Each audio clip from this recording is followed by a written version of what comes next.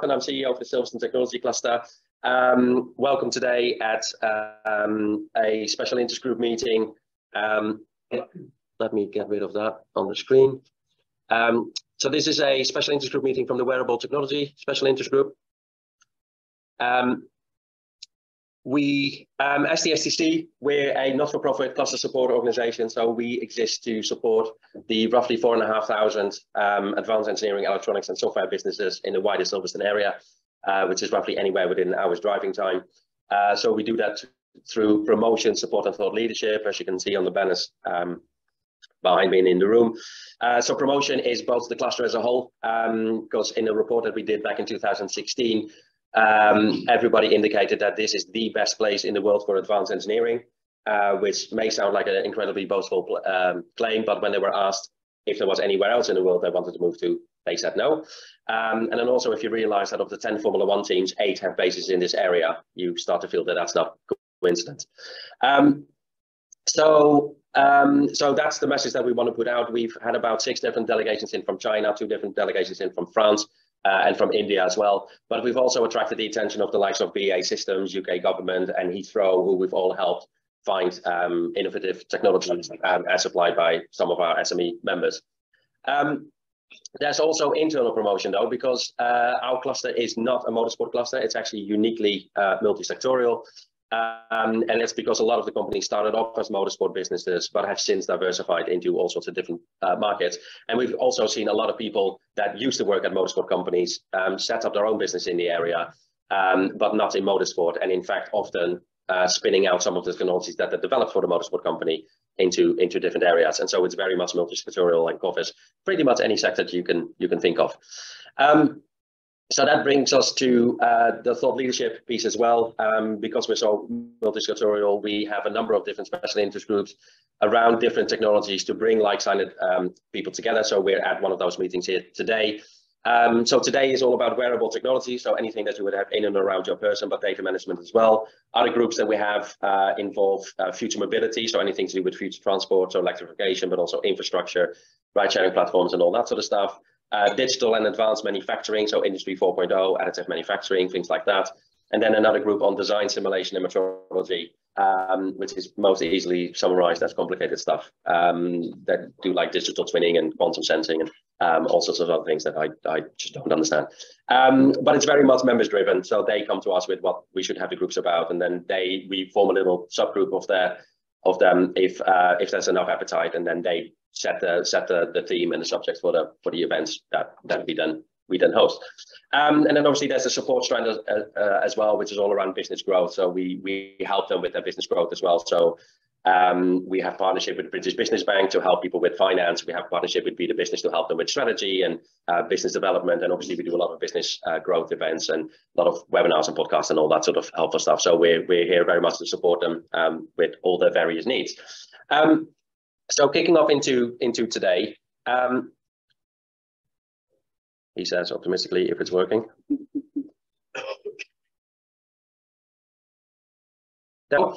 um, so with all of these events, your feedback is, is very important for us. So if you would all wouldn't mind scanning the QR code, we'll we'll bring it back up again later on as well. But scan the QR code. I mean, by all means, by all means, tell us how brilliant we are right now, or you could wait until after the event and then tell us what you thought of the event.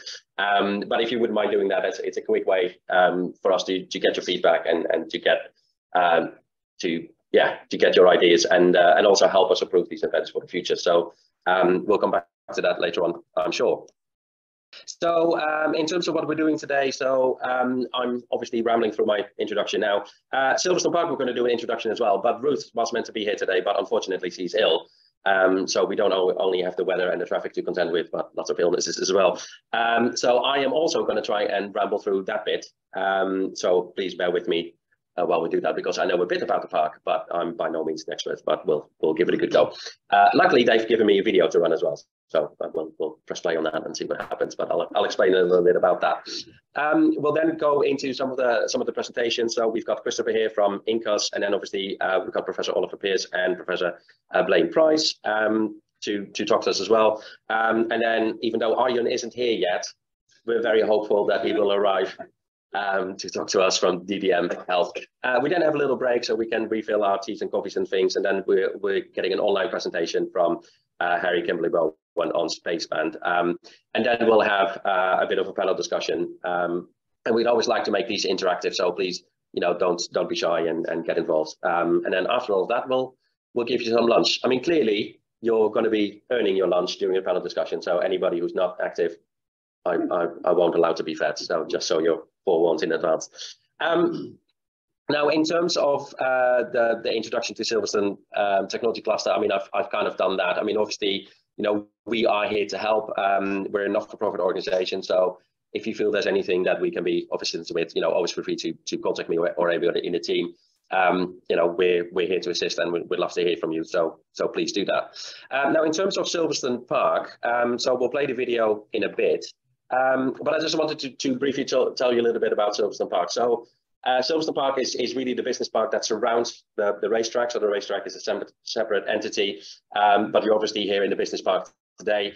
Uh, so we're here today in the, in the Innovation Center where there's there's some uh, some spaces available, not that many, I, I believe, um, because MEPC, ever since they came in in 2013, have done an absolutely amazing job um, in, in basically filling it up and, and renting it all out. So uh, because most of the stuff that you can see out there today didn't exist in 2013 and they've, they've been building a lot. Um, in total, I believe they've got 2 million square feet of space to expand into. Um, so what they've done now and what you can see here is is really just the beginning. Um, but they they um, somehow operate with a model because I think they're now into phase four, uh, which they haven't started building yet, and I believe that 75% of that is already let out. Um, so the, the demand is absolutely huge, and and they throw up bespoke buildings and um, and all sorts of um, things as well. But actually, the most interesting thing about MEPC, who are the the ultimate um, owners of Silverstone Park, is, you know, of course they're about building buildings and renting them out. But actually, interestingly, they are very very good and focus very much on building a community. Um, so not only were they the driving force behind the Silverstone Technology Cluster and one of our founding members um, to obviously create a, a wider community, uh, but also on the park itself, they work a lot to make um, to make it a, a, community feel and to um, to bring businesses together. So there's there's things like summer barbecues and they do pizza lunches and there's football and there's Pilates classes and all you know outdoor gyms. Obviously not today, um, but all sorts of stuff um, going on to really create that community feel, make this a very pleasant place for people to work that they want to go to. I think in some of the new buildings that they're proposing, there's also going to be like a gym and like a, a child mining facility and all that sort of stuff. Um, so they're really pushing forward with this with this community feel and and making sure that they do a lot of stuff. Um, you know, they do quizzes as well and all that sort of stuff um, to really make sure that that you know the the environment is a pleasant one for people to be at. So not just posh buildings, but also you know actually really good community feel um, to bring people together, and they're, and they're very very good at doing that. Um, and I think that that differentiates them from people who just throw up a bunch of fancy buildings and and that's that. Um, so it's uh, yeah quite an important distinction I think. Um, but now we're going to try and see if we can get this video to run.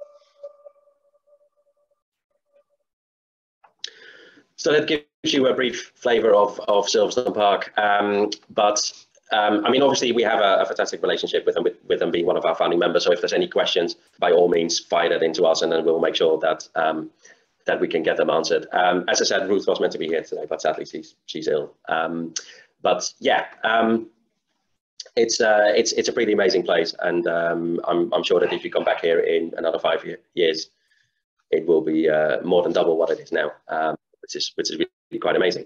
Um, but there we go. We'll uh, we'll leave that there because um, after all, I only know so much.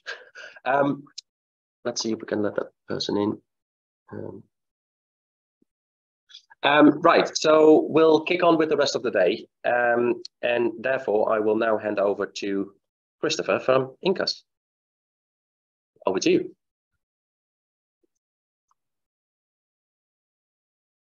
Great, thanks everyone. And uh, welcome to uh, everyone who's online as well. Thank you for having me here. My name is Chris, and I'm Managing Director at Incus Performance.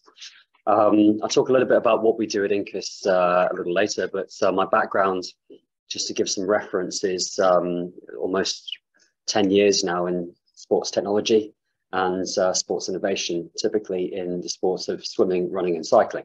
Uh, so I started off designing bicycle frames which I've just noticed actually one of the, the lights of which uh, are on that uh, little banner over there um, for Team GB and for British Cycling, uh, as well as some pro teams as well back in 2013 14. So the kind of Tour de France stage wins and stuff like that.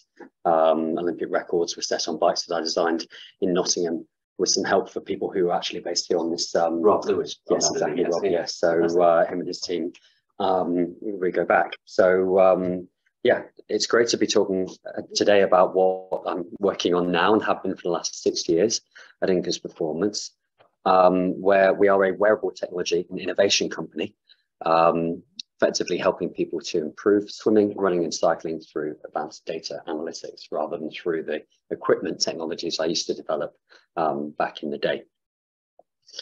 Um, so ultimately, we're here to help people to push boundaries. We are a, an independent British innovation company um, that are helping people um, to collect the right data in their sports, but also to understand and apply that. Um, and so we developed a full stack technology approach, which is what we mean is uh, we have a, a device that measures how your body moves. And we've developed all of the, an, the uh, analytics, excuse me, um, the, the data infrastructures and uh, all of the front end as well to give a cohesive and full experience. So the way that we see is that the future of sport is very much connected. Um, there's been a huge growth um, in particularly multi-sport since um, COVID started and literally millions of people across the world that swim, run and bike regularly. Um, does anyone do any of these sports? Hands up. Awesome. Okay, great. So we're in the right place. Um, so through COVID, these activities, we've seen like loads of people, um, particularly in running, threefold increase in running. Um, but there's there's very much at the same time a huge amount of investment in online digital products. So very much like motorsport, um, people here naturally have seen the way that data has been able to completely revolutionize the way that the broadcast has uh, told stories about motorsport. Um, motorsport and got people involved into the action. It's very much uh, an investment in individual sports now, swimming, running, and cycling, um, to take that same arc of using data to tell a great story and involve people um, through broadcast. we're seeing the likes of the Olympic Games as well, starting to include virtual sports in um, their future games. And so that kind of um, together with COVID and with climate change reasons, we can't we need to start to rethink global competition and a way of getting lots and lots of athletes in a single location all the way across the world is becoming more and more challenging. Um, and so we see a future very much where um, we can start to solve these problems through advanced data and storytelling. the problem with this, though, is that no one has been able to really successfully connect the, the real world um, and individual sports with the digital world. So if you're a cyclist, you'll be very good at sitting on your indoor trainer and you enjoy virtual worlds like your Zwifts or your TrainerRoads and such. But taking that outside and you're pretty much tethered to your Wi-Fi router. Um, and so having those same experiences outside is, is always very, very tricky. Um, challenge is, is because most of these technologies are, are based for fitness and well-being um, technologies, uh, which are not necessarily for live stream data and getting that data out of these environments to, uh, to connect these virtual worlds. Um, you don't necessarily have any products that have been built from a hardware perspective to interlink all of these technologies that are coming out from blood glucose sensors, heart rate monitors, cycling power meters. They all do a great job. But helping to tell a story, you need to bring them together and actually get them out to people in real time. And finally, really, um, data for data's sake is is meaningless. I mean, there's there's a lot of data being collected about performance in in um, the world, um, but if you can't understand that and apply it at the right time, um, then you can't affect that behavioural change, which is what we're all trying to do. Um, and so we see a significant gap there in providing actionable feedback, particularly in injury and efficiency. And that's really what we focus on at Incus Performance. So for the first time, we are enabling live stream technologies from the environments of swimming, running and cycling without supporting infrastructure at all. So most GPS technologies or some of these kind of um, you know locations in your team-based sports or motorsports, you've got a big car and a big battery and you know lots of places signals off to know where people are and how fast they're going to be able to tell that story. If you're doing a, an ironman triathlon you don't want to be carrying a huge battery on your back um, to be able to have the power to, to get that data out. Um, and so beginning in the world of multisport really um, we are partnering with um, major events to provide live stream services for data that includes your location um, but aspects of your technique, your performance and injury risk as well in real time for to improve the broadcast. Um, we provide this um, also to connect to additional peripheral sensors. So your heart rate monitor, maybe a chest belt that does great job for heart rate monitoring or cycling power, but isn't built to get that out to tell a story for live stream. We also bring that data to one place um, through a device uh, that we have it's super simple to deploy. Um, so a big part of telling the story is about, making it easy for people to understand and also easy for to collect uh, data on the ground. So we simply rock up with a laptop and a variety of devices that we have that people wear. And um, within 10 minutes, we have a live stream that can go anywhere in the world.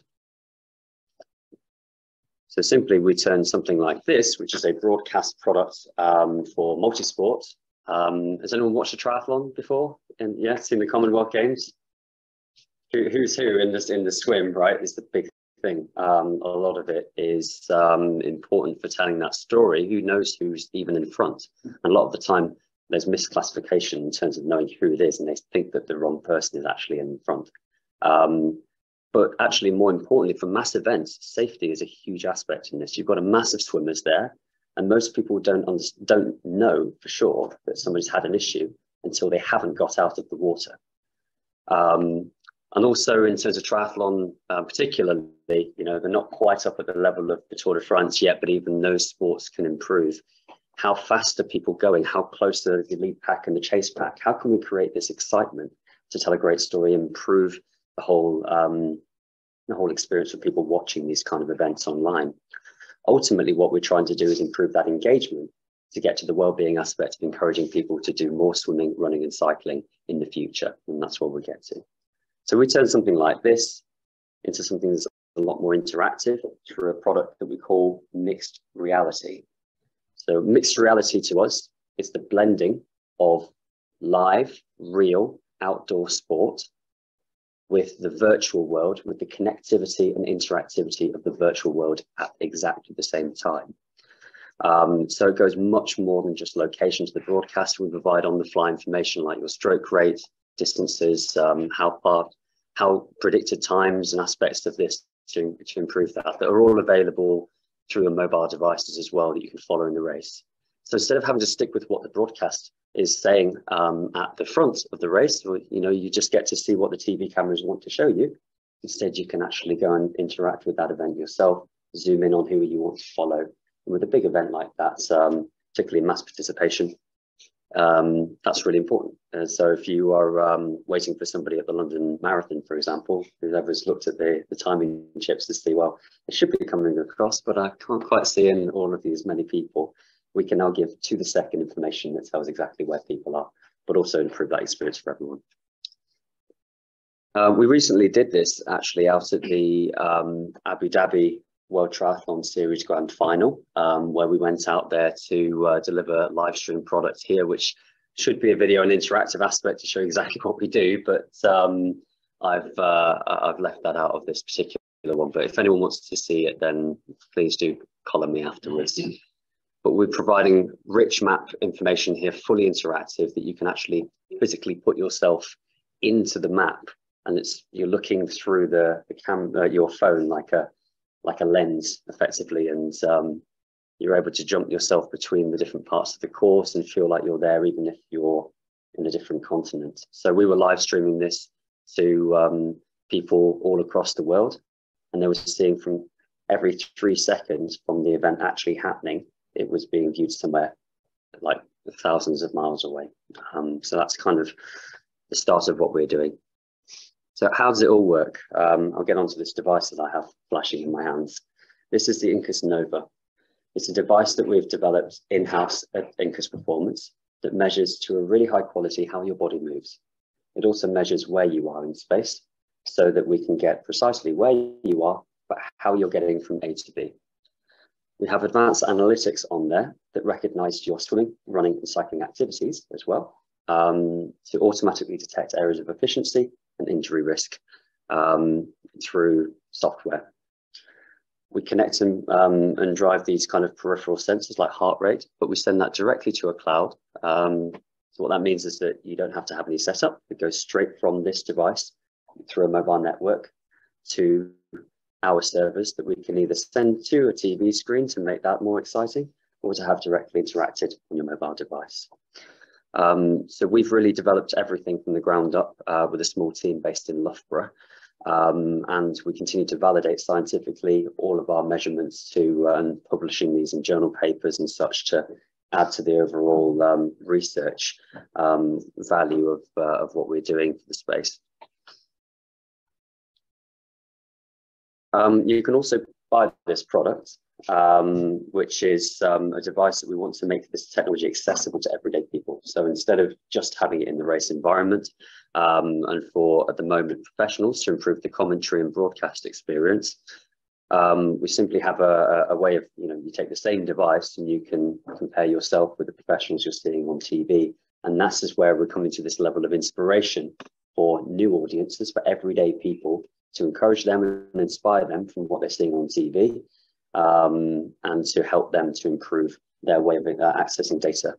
Um, so you simply put it on, you forget about it, and everything is done through software. It's done automatically. So recognize exactly when you're swimming, running, cycling, give you exact body angles, left, right, um, power when you're running or when you're cycling, uh, when you're swimming, sorry.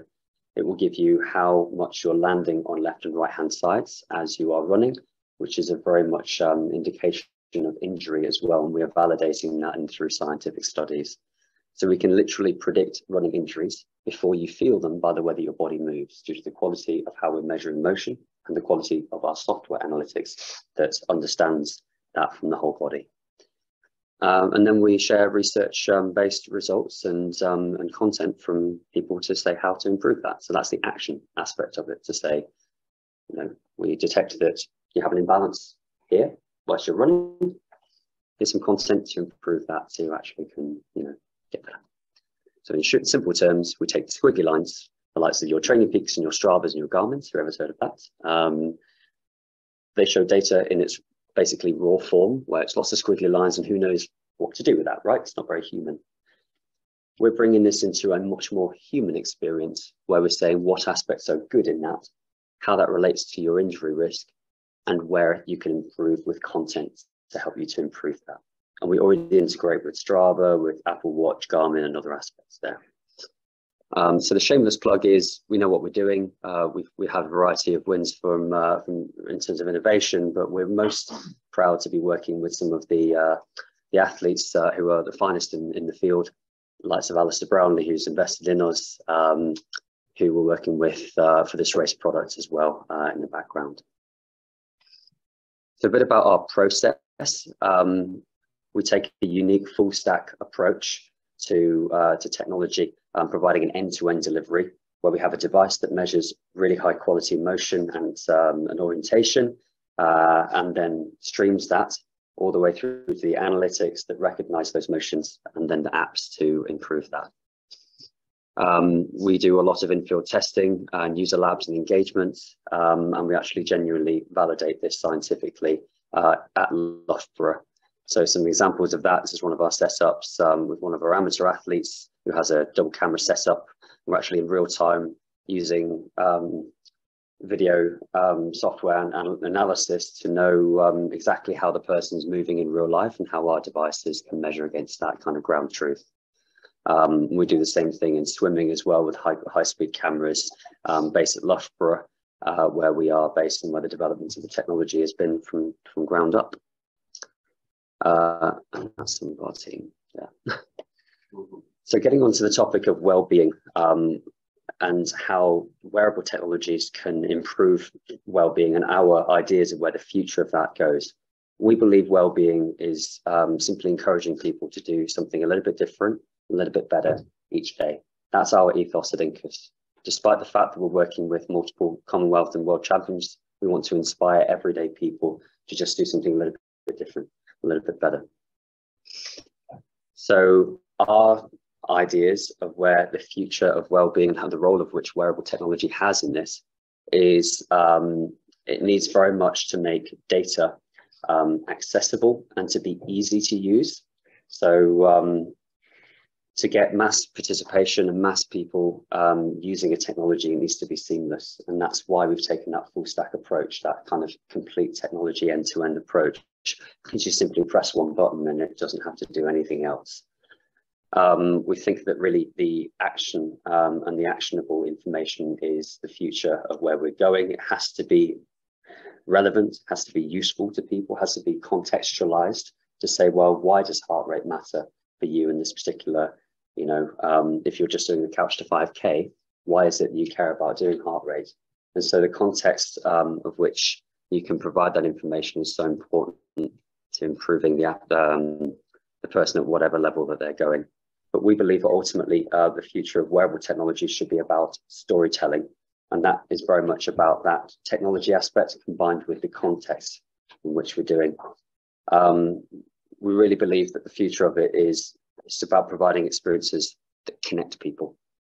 And so um, it's to inspire and encourage people to get active, to do more fitness, and to uh, keep better health and wellness for themselves we believe that that's very much about connecting people. And that's the reason why we developed a technology that allows people to be connected across the world um, at exactly the same time through the sports of swimming, running, and cycling.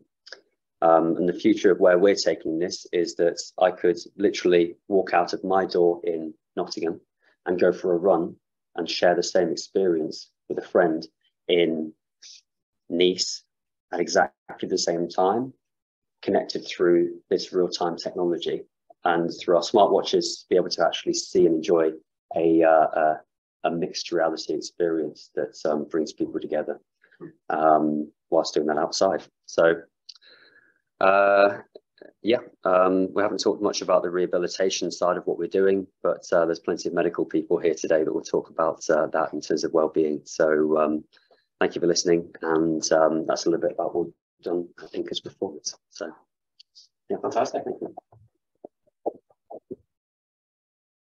Thank you, Chris. Uh, fascinating. Please come around this way. I'm occupied with, uh, with the table over there. um, no, fascinating stuff. And and on some of the sto storytelling aspect, um, I know of at least one member company that I'd like to introduce you to, who I think will be very interested in some of your your tech. So let's let's have a let's have a chat on that. Um, right, moving swiftly on, um, and welcome also um, Arjun. Um, very pleased that you have arrived as a as our third speaker. Um, obviously, we we had to start, but uh, but yeah, good that you're here. Um, so I'd like, I'd like to uh, hand over to the two professors, uh, Oliver and Blaine, um, who I think are going to do a double act. Uh, and please mind the cable again. Um, but over to you, and uh, yeah, take it away. Thank you. Thank you. Right, so that's working. Um, so I'm Oliver Pearce, um, Blaine Price. Um, I will go through our little bios because it'll make sense that uh, the two of us have been working together across disciplines, very different disciplines, but actually the, the pairing works very nicely. So my background is I'm actually a consultant hip and knee surgeon. Um, you need it replacing, I replace it. You need it revising, I revise it. You break it, I fix it. That's kind of my baseline job if it relates to bones. Um, I've got a visiting professor's post with Blaine in computing science at the Open University. I've got a similar one in materials manufacturing and aerospace at Cranfield because I'm interested in implants and metal surfaces and tribology and wear uh, of hip replacement and knee replacement implants. Um, I've got a visiting post in Bedfordshire in health sciences where we do a lot of collaborative work as well. Um, and I was just mentioning earlier, I used to have a post at Loughborough uh, in health and exercise or sports and exercise medicine, but I just don't have enough hours in the day, so I've dropped that. Um, but I'm a clinical lecturer in musculoskeletal sciences at the University of Buckingham Medical School, where I run the orthopedic and rheumatology um, block. Um, within orthopedics, I'm the UK lead for the rapid recovery programs for how you recover after having hip and knee replacement, because it doesn't just end with the surgery, there's the rehab. And then how can we monitor patients remotely and who's in trouble and who, who do I need to be warned about to intervene early. Um, and I chair a thing which I'll tell you about at the end called the BLMK, Bedford Luton Milton Keynes Academic Innovations Group, where we get um, uh, health care research interested parties from local universities to all meet up about once a month to try and provide a network, which I'll tell you about in a minute, um, for advancing um, project that could lead to some place like this. Um, I'll introduce Blaine, or he'll introduce himself. I'll introduce myself. So uh, Blaine Price, I'm a professor of computer science at the Open University, where I've been uh, about 30 years. I came for a year in 1991. Um, I don't get around as much as Ollie, so I'm only a visiting physician at, uh, at his institution, Milton Keynes Hospital. Uh, my primary discipline in computer science is human-computer interaction, so helping people interact with computers better. And um, the sub-discipline of that that I work in is wearable and ubiquitous computing, um, mostly for health and well-being. And I did a lot of work when it was popular on quantified self, which um, Chris will tell you is just basically collecting lots of data and finding no action from it. Um, uh, I do other work in applications of machine learning to healthcare, which I'll mention a bit later in the talk. And um, my main interest, though, is the factors that affect user engagement with the technology and the and, and the wearables to make people engage more with it and, and get more benefit out of it. Thank you. We've done enough for just background, a number of double acts in a number of different countries in a number of different conferences on orthopedics, or I've been to computer science um, fairs and conferences in Canada. Um, and it does it shouldn't work, but it works very well. So will you tell me at the end? Um, so we want to introduce our most mature little tangible device that we made. The very first thing that when we met in 2016, 2017, um, Blaine asked me what I was most annoyed about and what technology could solve for me. And I said I wanted to know how much pain my patients had after surgery and I didn't want paper diaries and I didn't want people trying to enter data and I didn't want errors and I didn't want people making up all their pain scores after six weeks of not filling it in and then filling in all the things hoping that they would please me somehow. I wanted a device that asked them, prompted them, uploaded it to a spreadsheet, and then I had my data. And so Blaine said, well, that's an app. And I said, yes, but I don't want an app. I've got elderly patients who don't do tech. And so five, six, seven years ago, it was more true and it's less true now patients are engaging with smart devices more than they used to. But I asked my patients once who had emails, um, who had an email address out of all of them, and 50% of them didn't have an email address. So then, 2017, that gave me a flavor of how much tech use there was, and I wanted something simple. So we made the pain pad. It's a box deliberately cheap, nasty, droppable, inherently no value. None of my patients from rough areas would nick it. They, there's no resale value. It doesn't matter. It is a box with 10 numbers on it that beeps and vibrates and makes a noise and shines a light when it wants you to enter your score from zero, no pain, to 10, someone's got a blowtorch to your knee. Um, we then wanted that data simply to go to a database, date and time stamped and linked to an identifier for the patient that wasn't traceable. So the internal hospital number that no one knows what it means is the numeric data that we get into our um, web-based, secure, encrypted uh, database. It's got large buttons, easy to press for elderly fingers. It fits in the hand, it's not heavy, and it doesn't seem to break too often when it gets dropped in bedpans and toilets. Um, so I get out of this, what do I get? I get an auto-collated score of pain for all of my patients I've ever operated on over now a five, six year period. And the same for my um, surgical colleagues. I get their data as well. and we're spreading it around the hospital. And so we get the pain scores of patients who come in with other painful conditions. Um, and we have it on the recovery ward where people go after their surgery, not just orthopedic, but other brands of surgery. So the recovery ward get an auditable database of how much pain their patients are in daily, weekly, or monthly that they can then compare one month to the next. Where, what did they do well that month compared to the month where they didn't do so well? Just data about which you can or can choose not to do something about it. What have we done with it? We're just um, submitting for publication a couple of articles where, for example, I wanted to know what pattern of pain did patients have after knee replacement surgery? Did they have lots on day one, less on day two, less on day three? Was it a straight line? Was it actually a sawtooth baseline? Did it go up again later after they went home? Were we not giving them enough painkillers? You know, the what actually happens. I call it a black hole. As soon as my patients leave my ward, I don't know what happens to them. They, they go home, six weeks later, they come back to the clinic and say, that was tough. And I say, well, well done. How's your knee? Well, it's fine now. And that's all I know. So the black hole was a, uh, an infant hole. So we've got data of four or five years now of patients who had um, a hip or a knee replacement that can tell me how much pain relief I should give them if they went home early. How much pain will they have? How many morphine tablets would they need? Do they need three days? Don't give them too much because that's bad for you. Do we give them seven days? Do we give them 14 days? Or do we just give them enough for three breakthrough pain events in the couple of days that follow. So we've we've got the pattern of pain.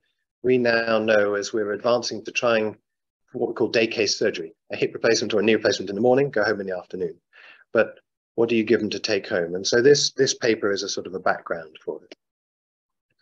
Um, we've used it for, uh, there, there is evidence that if you have a tourniquet, an inflatable tourniquet during knee replacement surgery, that you get more pain after the surgery, particularly the first few days, because you have ischemia, uh, a lack of oxygen to the muscles and the tissues in your leg for a period of between one and two hours, depending on how fast or slow the surgeon is.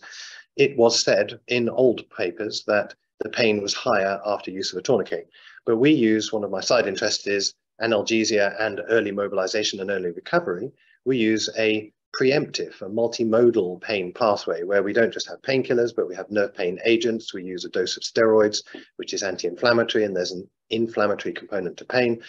So all of these things given early mean that you have less pain after surgery. We wanted to know, does that matter if you've had a tourniquet or not had a tourniquet for your knee replacement, now that we're using the clever preemptive pain pathways? And sure enough, the pain pad has told us from our existing database, no difference. Tourniquets are easier for the surgeon, no blood, uh, faster operation, uh, better cement going into the bone rather than the blood coming out, everything better. But was there a downside? Well, there used to be more pain, but now we've shown no pain, so we'll publish.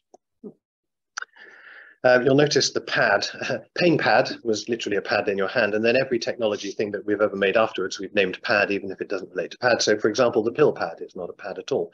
The pill pad is another, uh, Blaine and I were on a plane to Limerick to a, um, a university meeting where we were going to talk about something interesting. And my daughter had been to a party and she'd had a Pez sweet dispenser with the head at the top and the sweets come out the top.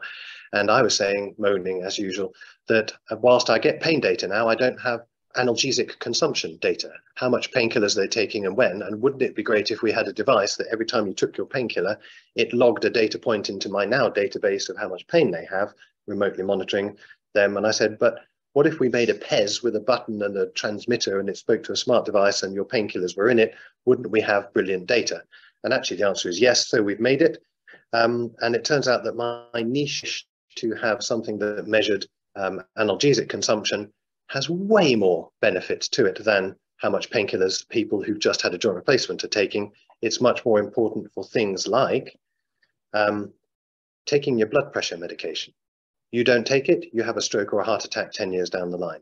So your compliance with medicine for a medical condition to prevent complications of the condition you've got is more important than how much painkillers you take. And the market is bigger if we're talking in a business sense. So if you're on cardiac medication, the same is true. You're more like, uh, if you don't take it or you regularly forget to take it or you take it at different times during the day, you're more likely to go down the line and have a heart attack.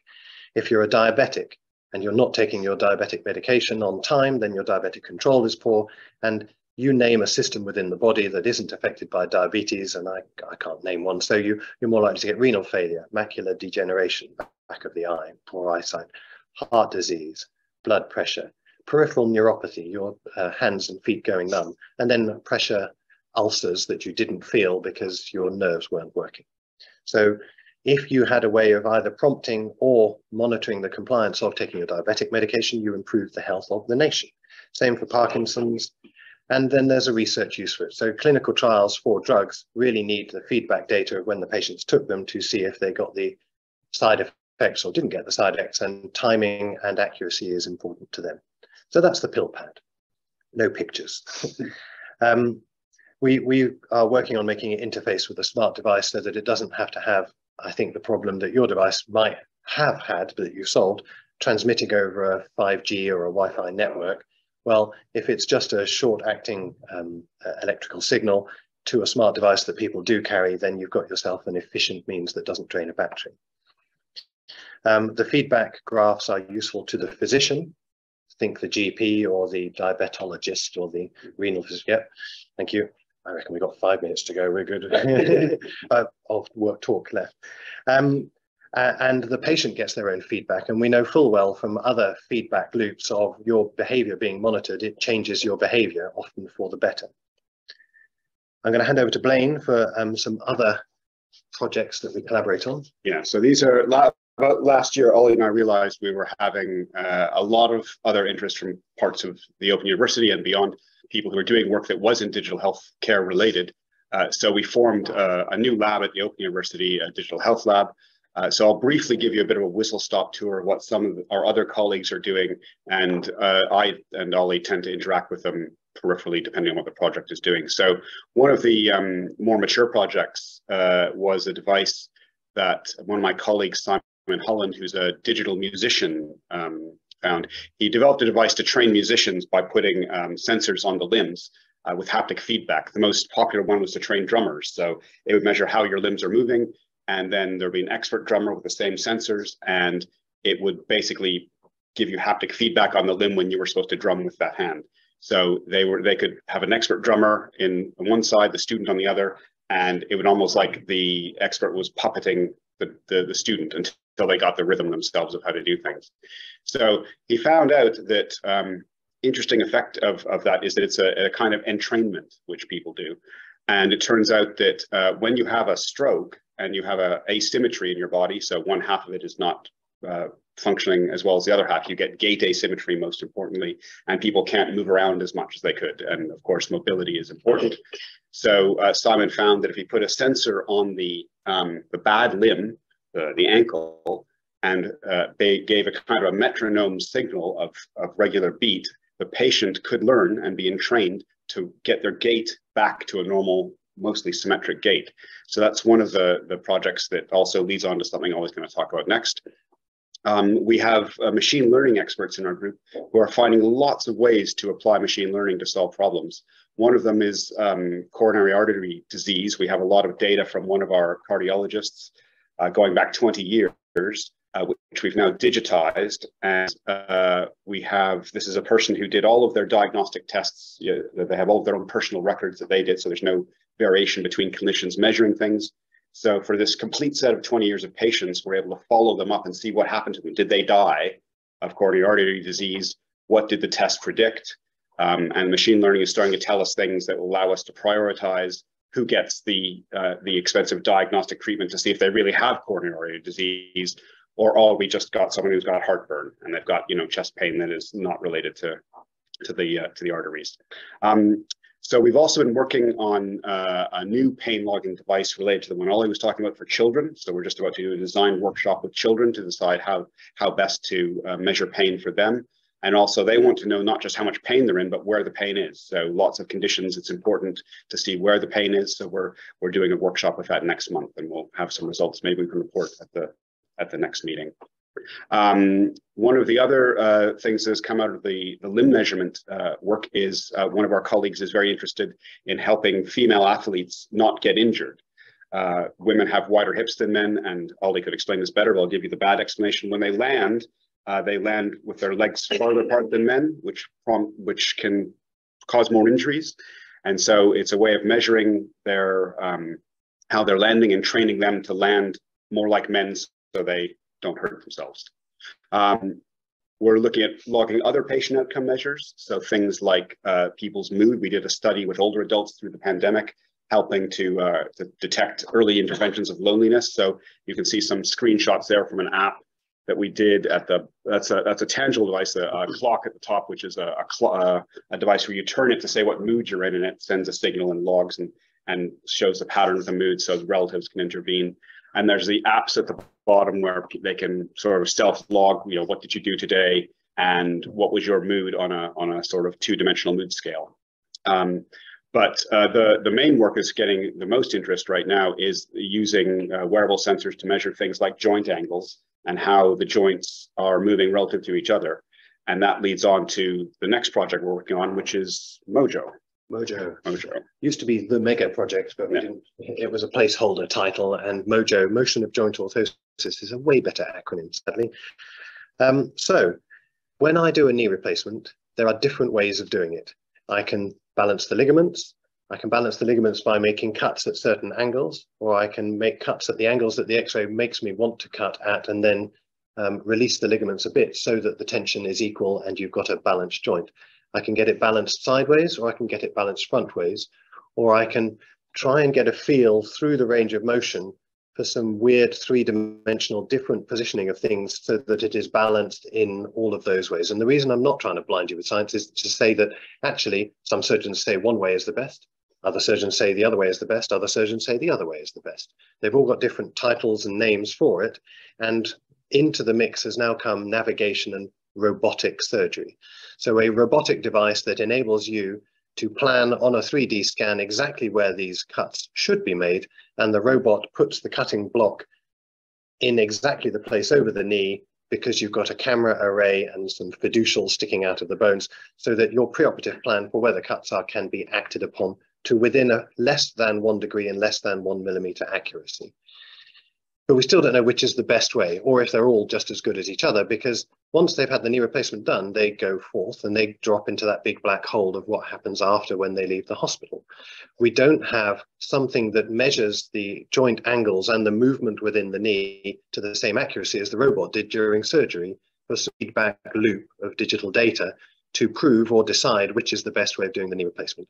So we want motion sensors that give me that degree of accuracy of what's happening in the knee on stairs, when sat down, standing up from a seated position, walking down a slope, walking up a slope, turning left, turning right. They're not the same, different twists happen. So we have collaborated with Cardiff, who had taken simple IMUs, inertial motion units, measurement. unit, I always get that wrong, um, where they put them in seven different locations on the body, put the patient in a gait lab, a visual gait lab, using the gait lab as the gold standard for measuring motion in three dimensions from different angles, and to within 95% accuracy, these sensors that are simply on the skin, and everyone's skin is in different positions, but they can reference one from the other uh, on them, that in one plane you had 95% um, accurate data. So we thought, well, I can work with that. If I just had a elasticated bandage and two cheap Chinese inertial measurement units, thank you, um, then I would know what's going on in the knee of my patient for the six, seven, eight, nine weeks after surgery to feed back digital data using machine learning, because the amount of data that comes out of these things is huge, to tell me and for me to tell my colleagues, they won't like it, which is the best way of doing it and that they were all wrong and I was right all along. This is the goal of Mojo for me. Um, and I wanted to make a plug for the BLMK Academic Innovations Group, which is the group of uh, universities around the patch here. So Open University, Cranfield University, Bedford and Buckingham, um, who all of us who are interested in health tech and healthcare research meet and try and forward our own goals. So to provide a network where if people came with a good idea, then we promote it and we give them the resource that they need. If they need access to a clinical trials unit, then they are part of our group. If they need access to primary care patients, we have primary care research within our group. If they need access to secondary care, meaning hospitals, then we have research interested clinicians in my group, in my hospital, and the local hospitals who can provide patients or expertise or be, become part of the study. Um, and part of the reason for coming here is to plug my group to your group because we get so far, we publish, and then what do we do? You know, there's there's this. I'm sure it's, there there are papers on the subject. There's a gap between getting something that's mature, technical, and works, and actually getting it into the public domain, marketing it, manufacturing it, getting the expertise to physically make people realize that it's out there. Basically, entirely what your company has done for your product. We're down here and you're up here, we're we're trying to bridge the gap, and so we're we're we're merging or promoting our group to your group and seeing what you got. Excellent. Thank you. Fantastic. Thank you very much.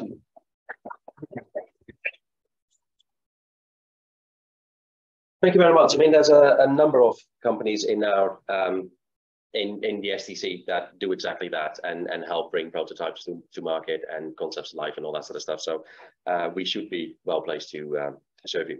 Um, right. So um, hopefully I'm not going to butcher this, but, but Arjun Panesar? Is that yeah, right? Yes. Fantastic. Cool. Is is our next uh, is our next speaker. So um, yeah, welcome. Uh, hopefully you've recovered from your traumatic uh, journey in. Um, but um, over to you. Please come around this way so you don't trip on the, the table. That's just the opposite lawsuit waiting to happen, isn't it? Um, thanks very much. Uh, my journey started around about 20 years ago. I was studying for an undergrad master's degree at Imperial College in London for a degree in artificial intelligence. And my grandfather was diagnosed with type 2 diabetes after a quadruple heart bypass. this is going to make me sound ancient, but he asked me what he should eat because he'd been told to follow a, a healthy diet and exercise. And I said, I've got absolutely no idea, but this really cool website called Facebook has just started. So why don't we ask the internet? So at that point, we actually ended up starting what back then was the world's first digital community for people with long-term health conditions. And 20 years later, we, we look after around about 1.8 million people, but we've used that data in order to create digital therapeutics that essentially look after people and plug clinical inefficiencies or, or, or problems or inequities. And so the next 50 minutes or so, I'll just take you into a bit of a deep dive of what we've been doing over the last 20 years properly for the last 10 years. So as a, we've been a limited company for, since 2012 uh, and some of the outcomes that we've collected since then. And apologies for the font. Uh, this, this, I think this is part of a wide deck. Um, everyone here is totally aware that healthcare systems are struggling. COVID exasperated inequities and inequalities that already existed. But for a lot of people, they, they, it's unusual for them to, to learn that NCDs or non-communicable diseases cause almost nine in 10 deaths. Obesity is a large proportion of that. And unfortunately, the socio-economically deprived or your ethnicity, your income and your neighborhood make the biggest difference as to whether you're going to access a particular service and receive outcomes from it. And then I think finally, healthcare systems don't want tons and tons of apps. So there's about 150,000 different health apps. I think around about 4,000 of them have been reviewed. But healthcare systems don't want an app for cardiac uh, rehabilitation, an app for diabetes, an app for obesity, an app for pre-diabetes. There are there is so much resource required in order to enable people digitally that what we have heard at least is that people want to be able to use uh, one, maybe a couple of apps in order to service a number of their uh, different types of patients or their particular needs. So for the last seven years or so, we've been working on an intervention called Gro Health.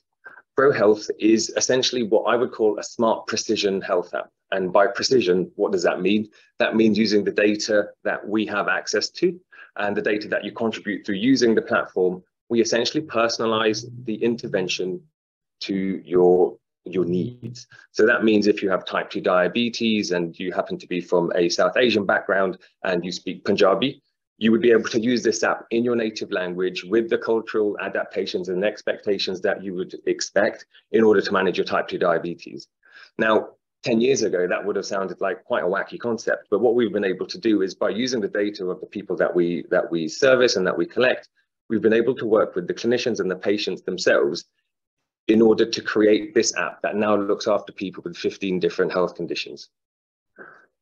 At its heart, the application is this there is a little door you can see, or what I would like to call the little phone entrance, where if you use the, the digital app, you will be able to access a world of data and remote monitoring and self-management and education. And you can see here that once you're using the digital platform, we're collecting a tremendous amount of data. So that could be from your NHS clinical record, it could be from your location, it could be data that you're submitting, and it could be your behaviors you don't actually need to be using an app. So some of the stuff that I really enjoyed about the, the pill pad and, and the pain pad concept is that you, the, the, novel ways of engaging people who, who can't use digital. So, you know, 65% or 60% of over 65s don't have access to a smartphone, but they do have access to devices like yours, or they may have access to the internet in other ways. And so what we've been what we've been doing is moving this to uh, smart speakers and devices like the Amazon Alexa and Siri so that people, if they don't have access to devices and don't have, which can be quite cumbersome, are able to engage in other ways, but still gives them access to this world of information and support where you're able to manage your health. If data looks uh, positive, then there's there's often not a problem. But if it's beginning to, to go in the wrong way, we can escalate to coaching, telehealth, uh, and in some instances, specialist care. But no matter what condition you have, there are really four modifiable risks that you'd be looking after. The first is your mental health. The second, your sleep. The third, your activity or your, or your, or your physical activity and your nutrition. From cancer to diabetes to obesity to, to children's health and well-being, they are the modifiable risks that we can do something about. So what we're able to do is in the digital ecosystem, look after those aspects of health. And if data from wearables, from devices, looks like like we could be in an escalating situation, we can use that data in order to plug into emergency uh, care or secondary or tertiary care.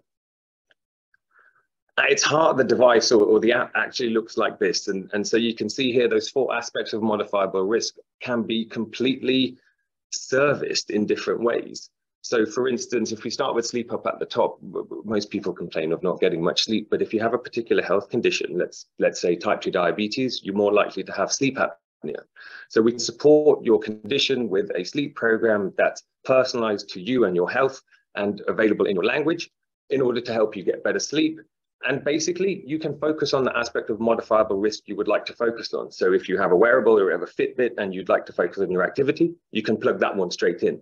But what we know is that from people who are obese, and, and that's around about two thirds of people who come into our platform, they want to focus on their nutrition first because they feel most empowered to do something about the things that they're eating. We then move to other sort of aspects or features, and just to touch up on, on a couple of them, uh, but goal-focused education. So type 2 diabetes, cardiac rehab, hypertension, we're able to support your health condition in order for you to better self-manage your condition. And if you require it, we can provide you with CBT or acceptance therapy coaching, uh, and then you can speak to people if, if, if required. We then move on to behavioral change activities, and I'll, and I'll touch upon that in the next slide. But all of that is powered by health sim and food tracking data, which we can collect from, from self-input. You can speak to, to the bot in order to input it, or, or Alexa in order to in order to get it into the system. But then more novel concepts like document tracking, so when you are discharged from hospital, for instance, there's a huge disconnect between the care that you receive at hospital and then what you're receiving uh, in, in sort of your day-to-day -day life. And so one of the really simple things we've been able to do uh, or enabled is just by taking a simple photo of the discharge summary, using and, and digitalizing that really in order to then push it into the appropriate primary and secondary care services so that they can have access to that data and so also that the patients know what they should be doing in this sort of bi bi-directional patient pathway that clinicians, I think, around about a decade ago were probably averse to. But but sort of with COVID, there's this there's this move towards sort of patient-centered and more value-based care, which which digital completely enables. More to my sort of nerdisms and the things that I really enjoy, we've been able to do some really cool stuff with quantifying health. And I've spent the last seven years um, working on something that we call Wellness Score, which basically digitalizes all of the data that we collect from uh, you know, from, from your wearable devices, but then also from your patient record and then any of your behaviors in order to provide a, essentially a digital twin, a number between zero and 100 of what we imagine your, your health to be. Um, we've been lucky enough to validate it, um, it with, with the, with in Switzerland, and we've been able to demonstrate that is a really nice way of getting people to adhere to an app, uh, but more importantly to a lifestyle in order to encourage behavior change. Uh, one of the gripes that I always used to have is that things like Fitbit used to collect data, but they never used to tell you what to do with that data. And so the idea here was to push people into that sort of behavioral change. And then last but not least, not forgetting that people want relationships, even if it's through digital. And so by enable, we've enabled that in some novel ways, but predominantly live events or classes where you can join a health coach and you can you know join a personal activity instructor instructor and do pilates with a group um, people seem to love that then just touching on the behavioral change.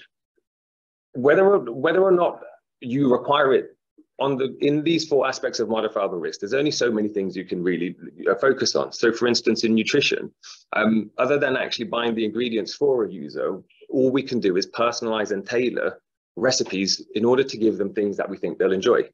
So when you come into our app, you might specify how much you spend on food, you, and we'll already know your ethnicity or your, or, and your health conditions. We might ask for your allergies, and then based on that, we'll tailor the complete recipes and meal plans that we provide you to that. Uh, and budget obviously being a huge part of, of, of what we're, of what sort of disincentivize people from healthy living. Uh, in order to make that easier, we've connected with shopping lists and Alexa in, in order to help you find cheaper alternatives or essentially find the cheapest thing that you can find so that we can hopefully get you to adhere to this behavioral change in this particular diet. Mental well-being, uh, immersive 360 mindfulness is probably the, the part that I like the most. Uh, so in care homes, for instance, we've had loads of people putting on those cardboard goggles and sort of looking around and uh, with their iPhones or, or with iPhones that we've donated. And people feel better after using those those sort of technologies. Uh, we also provide yoga and meditations that people, and particularly the elderly, find quite enjoyable. And then moving over to activity, the concept of self-paced exercise, uh, and, and then what people also enjoy is a key part in getting people to adhere to lifestyle and behavioural change. So we surveyed around about 10,000 people and things like cardio and high intensity exercises they quite enjoyed, but it was the self-paced or the more softer activities like Tai Chi and Qigong that people felt more, more likely to be able to take part in. But what we find is that people actually spend a lot longer in these classes, around about 98% of their time, they'll, they'll complete 98% of the exercises, whereas with cardio, around about 20%, because I think you, you might open it up and see how, how, how much activity is involved and then switch off. Whereas with these self-paced concepts, people like sort of moving in and, and, and working with it. And then with sleep, uh, stories, meditations, and relaxation sounds are novel concepts. Uh, what's cool about today is that we can push that through things like plugs that are connected to Alexa or, or smart homes that have speakers that are connected via 5G. And we don't need digital devices to be able to have access to these kinds of technologies. I will pass over the coaching and the community concept because uh, just in the interest of time, ooh, unless, uh, oh. Um, but I just wanted to touch on, yeah, that's the one. Uh, I just wanted to touch on the analytics and what we do with it and how we have developed essentially the, the provider area or the provider system. So whilst all of the app that you saw was what the patient experiences, the, what we've learned is that providers have varying uh, needs and, and, wants when it comes to what they want from, uh, from the data that they have access to. So I thought quite naively about a decade ago that a, a clinician would want to see all of the data that, would, that is collected and in real time. However, that itself creates other clinical risks as to what to, what to be able to do with that data and, and the responsibility if I've seen particular uh, data. Uh, and so we have learned that a bespoke provider dashboard is what is required based on the data uh, that providers would like to see and how often they would like to see it. So for obesity, that's quite simple. You, uh, weight data, BMI data that, that might come in every day, might come in every week. But then there are more novel ways in order to see whether patients are adhering to particular lifestyle changes. So you'll see over there in the documents area, uh, what we're able to do is, I, I, think, I'm not quite sure whether these are, you can see that, but uh, we can take photos of food, we can take photos of meals, and we can, we can connect that to the food diary and the nutrition data people are inputting in order to make sure they are actually eating what they say they're eating. So some level of, of validation or some level of trust. When moving this to cardiac rehab and connecting to blood pressure devices or, or, or oximeters, for instance, this is where data can become more risky. Uh, and so where we, where we use these kinds of technologies or these analytics are more in a virtual board setting where patients may log in once, twice, three, four times a day in order to push data in for their clinician to see and then on, in order to act on uh, really as a point in time assessment. The whole platform is customizable and essentially what that means is if you're a, a, clinician and you don't want a patient to see something you can remove it but more importantly if you would like patients to to see particular aspects of uh, of the app or you want to encourage people uh, to, to communicate with you or to come in for an appointment you can send notifications and, and ask users uh, to come in which what we have been able to demonstrate and I'll go on to the evidence works very well when used in a hybrid approach I'm really big on reducing health inequalities. And so the app that we, we provide is available in 19 different languages natively. Uh, and essentially that covers pretty much most of London uh, and a lot of socially, economically deprived areas where we're able to engage with people in their language. And it will be no, you know, it's, it's no eureka moment, but if you speak to people in their language, they engage with services. Now, when we were talking about care and, and sort of precision care, sort of these are the 15 health conditions that we look after and really looking at cardiometabolic and mental health conditions. Many health conditions that people experience are often a symptom, are often a collection of symptoms. And so, for instance, with people who may come in with type 2 diabetes, uh, exhibit stress and exhibit anxiety and exhibit depression uh, it, a lot more frequently than we would expect.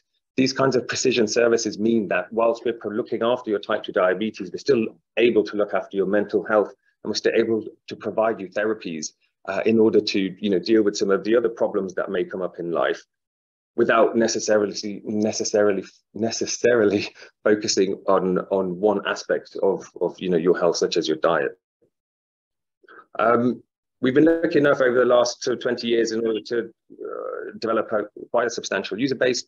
Um, but most importantly, what we have seen over the last two years is a flip from providing just patient services uh, to providing patient, patient services and clinician services. So whilst uh, healthcare groups want to look after their patients, they also themselves have staff with mental health needs and, and needs when it comes to employee well-being, etc. So the app is now being used in a number of different verticals my favorite part really is the outcome. So we've been working over the last sort of seven years or so with uh, Michigan and Warwick University in order to validate these concepts as black boxes, um, but then also the programs and the interventions in the black box itself. And I'm really pleased to sort of de demonstrate that on average, we see a 7% body weight reduction from someone who uses the app. The average app user is, is around about 59 in this cohort. And 60% of people who start on a medication, if they have type 2 diabetes, will eliminate it which is brilliant. If you're on insulin, it's around about 50% of people uh, uh, manage to eliminate insulin at the end of 12, uh, 12 months, and 27% are able to achieve type 2 diabetes remission, which a decade ago wasn't considered possible. But br what's brilliant about data is that a lot of the data that's been collected here in the UK and out in the States, and the studies that they've been doing with direct and Unwin with low carb, has demonstrated that we can put this condition into remission. And there are still countries that think this is a progressive disease. There's obviously, a, if you lose weight, a lot of people feel healthy, but likewise, a lot of um, uh, people have a positive mental health impact from that. Um, and that is, is demonstrated here. We see people reduce their symptoms of stress, anxiety, and depression quite considerably. And this is just after 12 weeks of use. Um, but most importantly, people see a reduction in their symptoms of chronic and acute pain. Uh, and, and what and what we hypothesize is that essentially because people are losing weight, joints and uh, and other areas of their bodies are feeling less pressure. Um, and we're, we're now working on a further study funded by Innovate UK on that. And then finally, just what we see clinicians and, and patients on the, on the front line say, really. So we've all of this has been published in peer-reviewed evidence. We see an 86% acceptance of referral. And so basically eight in 10, almost nine in 10 people say that they would take the app. People who don't take the app typically, typically don't take it because they don't use a smartphone. And this is where other smart devices and, and digital sort of exclusion packs come in. We see a high retention. So the hardest thing that people uh, experience when it comes to digital is getting people to stick with it. And by speaking to people in their language and making sure we can adapt the platform to them, we know that we can get people to, to use the app. The acceptance from ethnic minority communities is an, is, is an important one. Uh, a lot of sort of ethnic minority communities don't use apps when they're offered because they're in English by speaking to people in, in the language and the ways that they would expect, which means that also training the clinicians we're able to get people to use the apps. And, and finally, just to touch on the fact that one of the biggest problems that we have is that when because we have so many apps, how do you separate the, the good ones from the bad ones? Uh, obviously, evidence is crucial, but then what? How do we differentiate the you know the good apps from those that are able to provide a service that is equivalent to face-to-face care, and how do we merge those? We are doing a lot of work with the, the university uh, in Coventry, looking at how we can make a hybrid service in their in their specialist obesity clinic basically putting their people into our app and also investigating the, the, the quality of that care. Um, I appreciate that one turned into a bit of a waffle, but it's still pending complications. anyway, um, thank you very much for listening. Excellent. Thank you very much, uh, Very, uh, very, very interesting. Um, we um, we are now taking a, a short break um, of about 20 minutes, so um, everybody has the opportunity here to uh, get a tea or coffee um, and possibly some pastries as well. Um, obviously, at home, please feel free to utilize your own teas and coffees. Uh, teas and coffees. so we'll we'll be back here in about 20 minutes or so, where we continue with uh, an online presentation from. Uh... Thank you. Excellent. Welcome back, everybody. I'll now hand you over to um, Harry to run through his presentation. So please let's um, divert our attention to the screen. Thank you very much.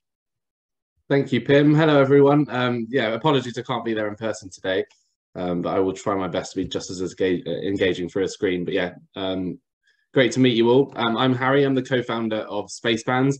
We create wearable technology to improve workplace safety. Throughout this presentation, I'm going to just cover um, how wearables have taken us through the past couple of years since the, the start of the pandemic when we launched in June 2020, um, and just to explain a little bit about the pivot that we have upcoming. So without further ado, let's hope this works. Um, just a little bit about Ronan and I. So Ronan and I um, are the co-founders of Spacebands. As I say, we built the business in June 2020 um, in the midst of the pandemic. Some people thought we were crazy to do that, but we're still standing strong today. Ronan and I have known each other now for uh, 18 years. We've been best friends since meeting at school. Um, always knew that we wanted to go into business together. Ronan's had a series of apps that he's built in the past, um, which he's sold. One being uh, called Wake or Donate, which was a charity alarm. So if you snoozed the alarm, you donated to charity.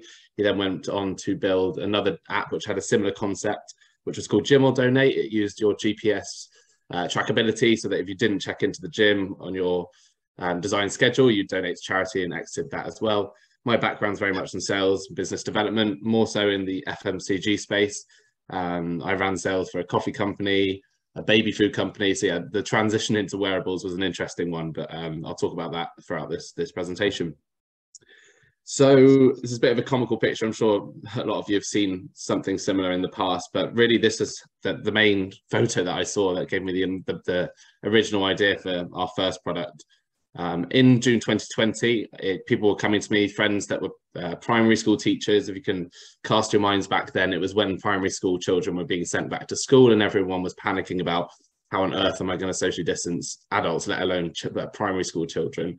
I actually saw this photo and it sparked an idea for me, and I was like, you know, whilst it's it's comical on one one side, I thought in this day and age there must be a piece of wearable tech to help indicate when people were coming into contact um, and in close proximity.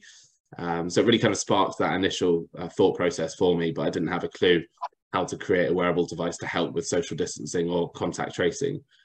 So I called upon my good friend Ronan. Excuse the beers here. It was many late nights of um, of, of product development and planning. Um, as you can see here, we started it in my kitchen in, in Bristol.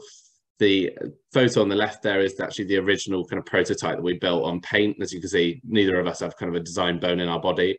Um, but in the period of six weeks, we went from original sketches of the first device um, to actually a finished product. So we built the Spaceband um, within that six week window. We knew that we had um, time was really of the essence. Obviously, June 2020 was very much in the midst of the pandemic, so we were really racing against time to launch this product to market. So in that six-week period, we built uh, what you can see here, which was the first iteration of our social distancing and contact tracing device.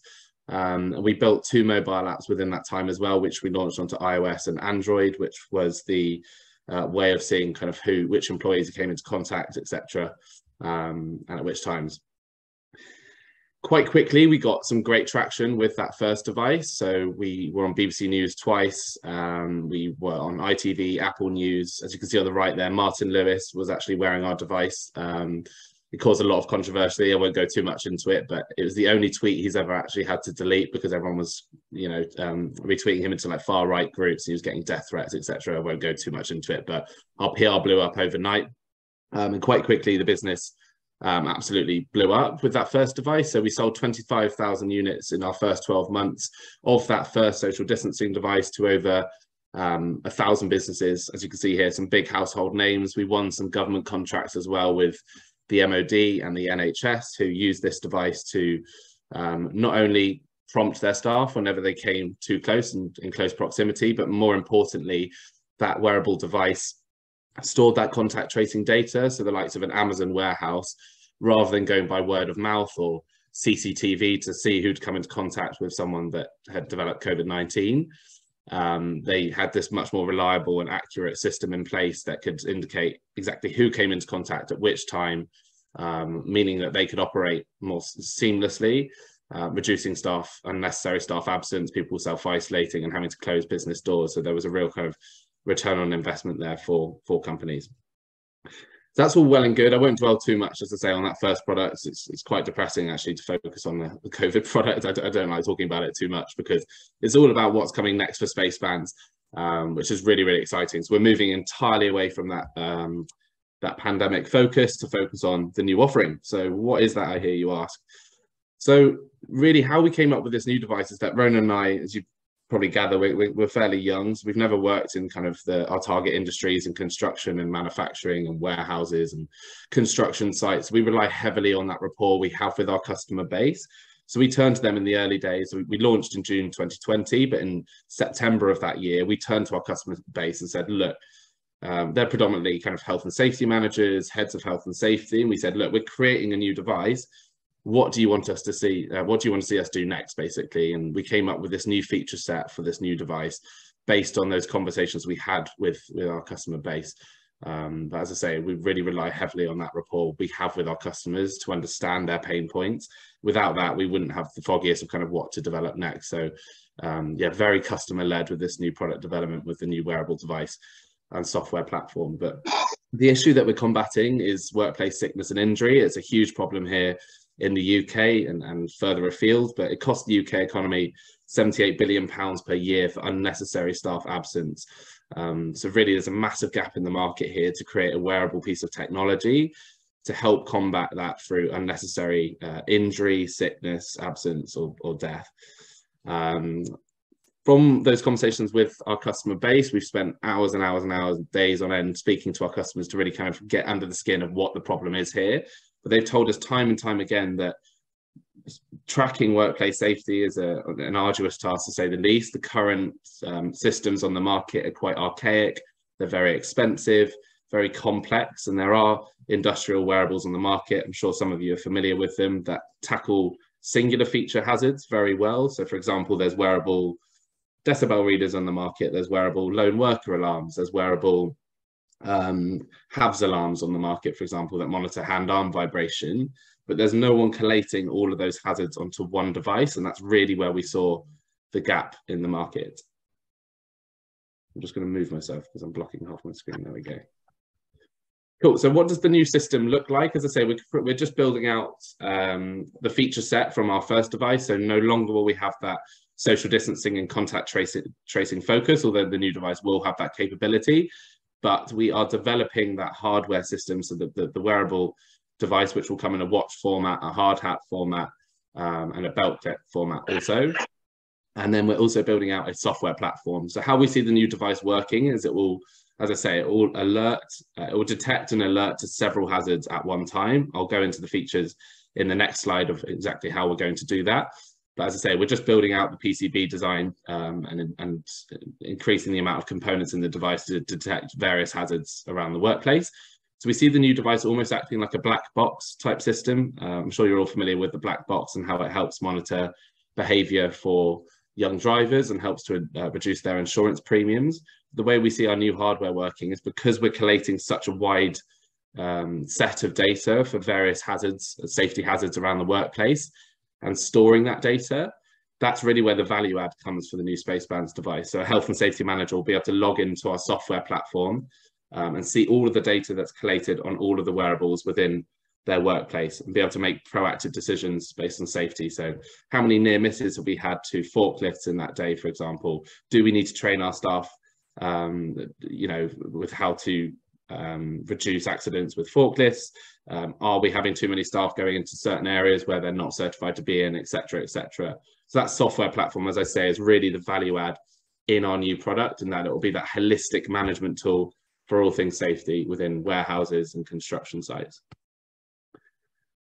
So just a quick look at what the new device and the hub system will work. So as I say, so we are building out the wearable device, as you can see here on the left, but the way that that data is transferred onto the software platform is through the hub system, which you can see on the right here. This will be a check-in and check-out system for employees each day, starting their shift and ending their shift.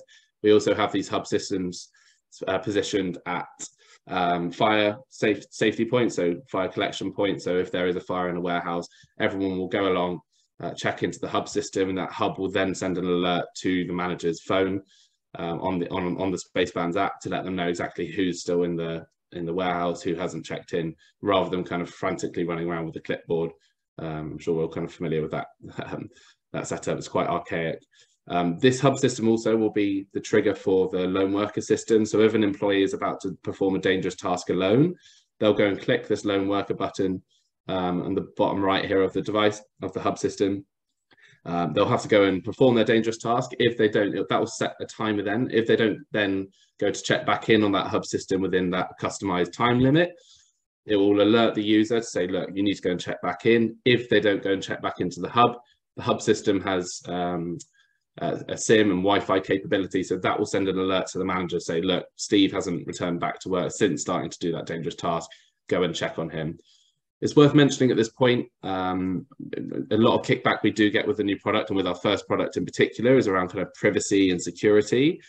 So privacy is really at the forefront of product development here. So the wearable device itself doesn't have any Wi-Fi capability, doesn't have GPS trackability like some of our competitors, doesn't use AI, simply uses Bluetooth and very simple components.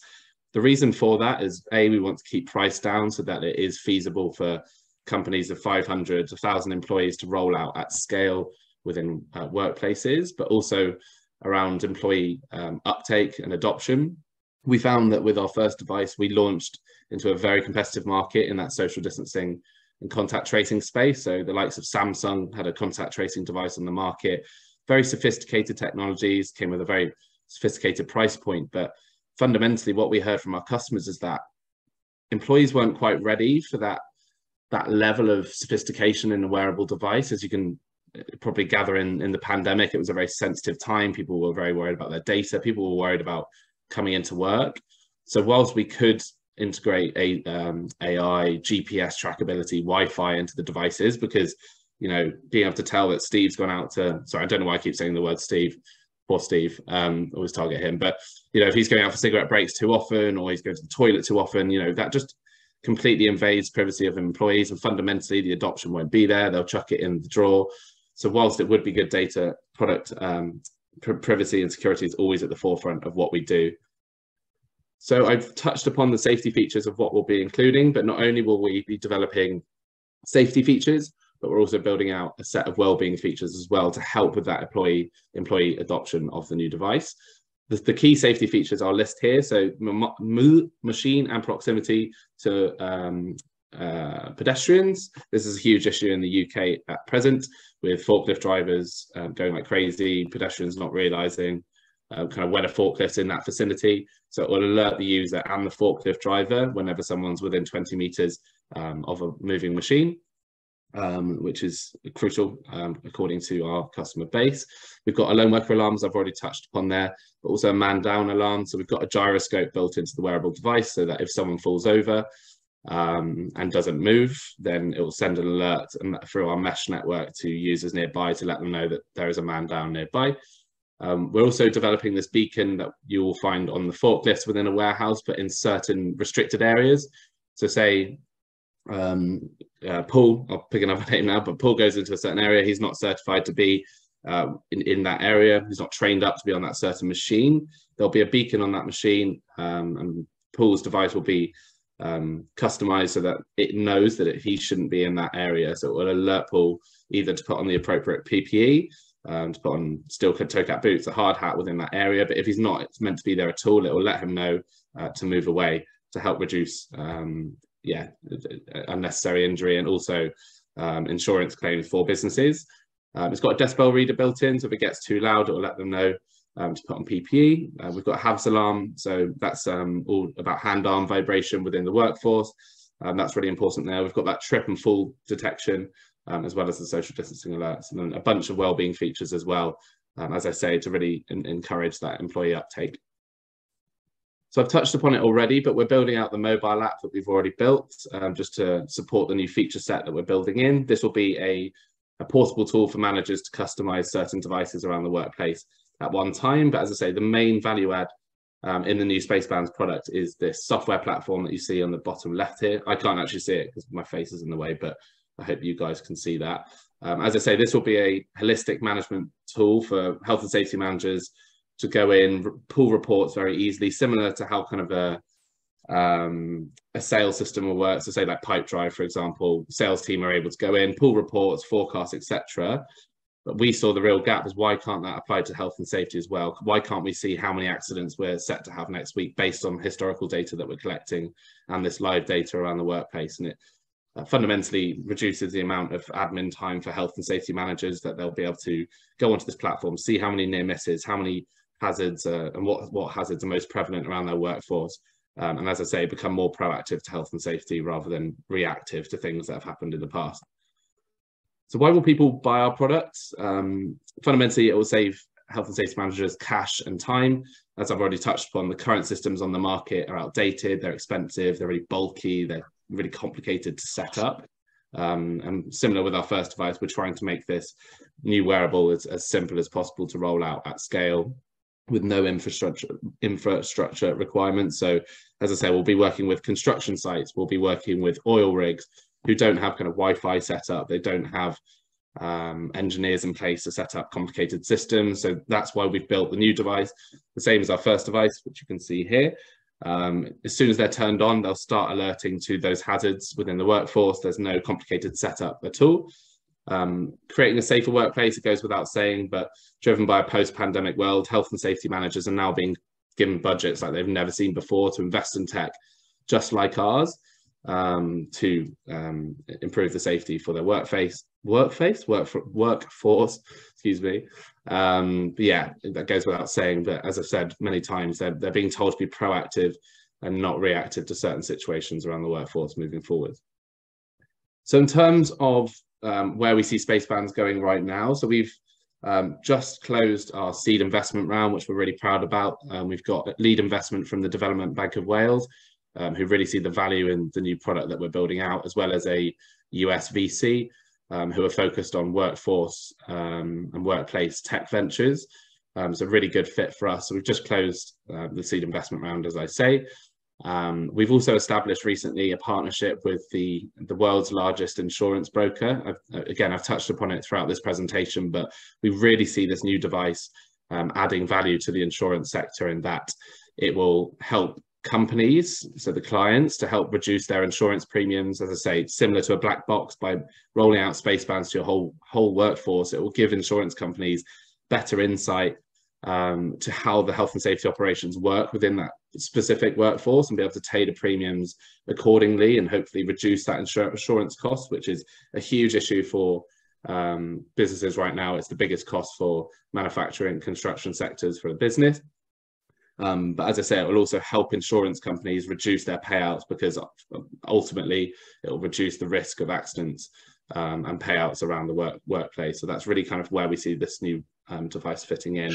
Um, so we see the biggest exit opportunity within that insurance space right now, although we can see um, this device going in other routes as we kind of develop new features um, through new product development um, there will be other routes for exit, but right now, as I say, we really are focusing on that insurance space and have set up a board and partnerships um, to help us get there. That's Spacebands in a in a nutshell. I hope I haven't gone over time. I did time myself because I have a tendency to talk and talk for England. But um, yeah, welcome any questions that you guys uh, have on the new product or anything at all. Thank you so much. Thank you very much, Harry. That's uh, that's great. We'll we'll do questions as part of the uh, the Q and A panel that we're about to kick off. Um, if I can invite all of our speakers to take place, and I've actually just noticed that we're chair short. Um, but could somebody pull up another chair, please? Sorry about that. Um, and then um, Harry, if you could start uh, your screen share, then I'll turn the camera around so that we can um, see everybody. Here we go. Excellent. So let me turn that around so that hopefully we can see everybody. Oh, it's nice to nice to see people. There we go. Give us all away. Happy days. Fantastic. Um, excellent. So uh, I'd like to start by asking anybody in the room if they have any questions. We did have one or two questions over the chat, which we'll, we'll cover, and um, Lena will text me any questions that are coming in. But are there any questions in the room from everybody? Yes, please. I'm happy to kick off. Um, great set of presentations. Thank you. I'm John Pudding. I work for Ultra Electronics as head of rapid technology demonstration. Um, I think you've all touched on responsibility. I think Irene, you actually used the word. This responsibility of having this data and either choosing to act or choosing not act. Um, particularly if you've got a, an employee base, as Harry's been talking about, you know, if you deploy this technology, then you have to act, you have to use that data. Um, and yet there is a massive fear, GDPR, personal infringement. Um, I wonder what your perceptions are on the decisions to act or not act based upon this data. Is that going to limit the technology deployment? Yeah, such such a good question. Um, can I kick off?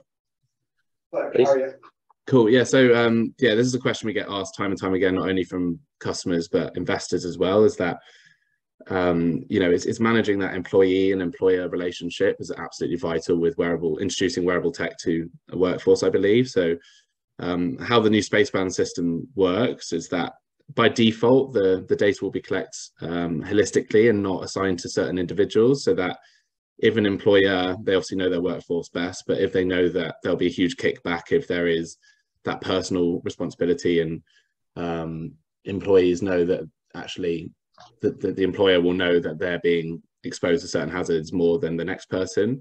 By default, as I say, it will be anonymize the data just to combat that kind of GDPR issue. But if the employer wants to assign each individual device to an employee, they'll be able to do that, but it's entirely their choice. The data will obviously be more beneficial to the employer if they know that certain individuals are exposed to certain hazards um, more, obviously. However, um, the data will still be useful if it's collected on a holistic level. So it's more down to that kind of employer-employee relationship, I think. So if the data says that, like, you know, 20 people in your workforce had a near miss today, you need to train the whole work workforce up. That's still beneficial, but you just won't know kind of which individuals are, are causing that issue, if that makes sense. But such a good question. I think, especially with our target sectors, I'm not sure about the other gents sat here, but we know that, you know, um, I don't want to stereotype people that work in kind of manufacturing, production, and construction, but there is a lot of kickback, and we're, we're used to dealing with that.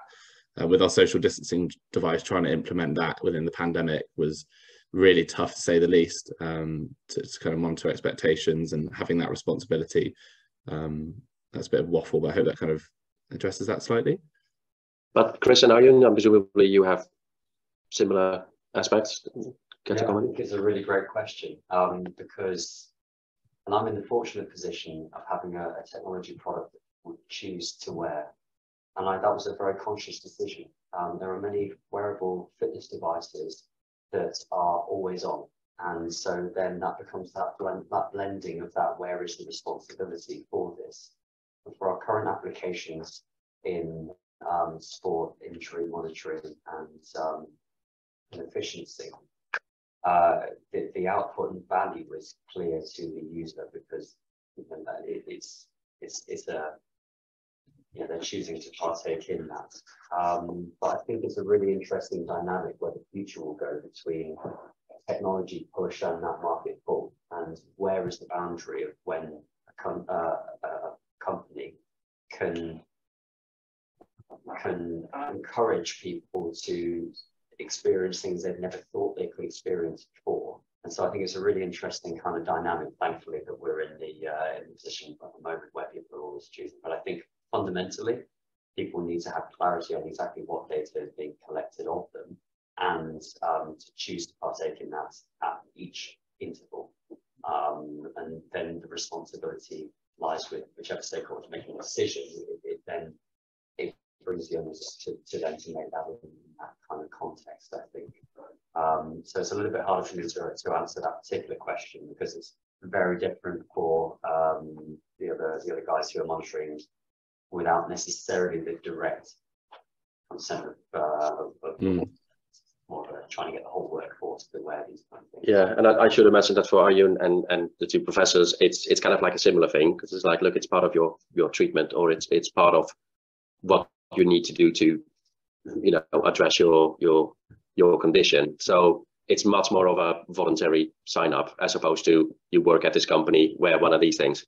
Yeah, it's, it's, it's, sorry to, to hop on, but yeah, just on that point, um, it's, yeah, it's really interesting to have the the contrast, I guess, and that kind of um, compulsory element. But for us, the the way that we're mainly combating that, because we're, we're very aware that with this new device, that is going to be our biggest kickback, is that you know people won't trust their employer you know what exact data are you collecting on me etc etc although we do try to be really transparent about that what we collect and what we don't collect but the way that we are combating that is that we're giving employees um, their own interface for the device so that they'll be able to see exactly what data they're collecting um, and what's being shared with their employer. And that transparency, I think, is really key.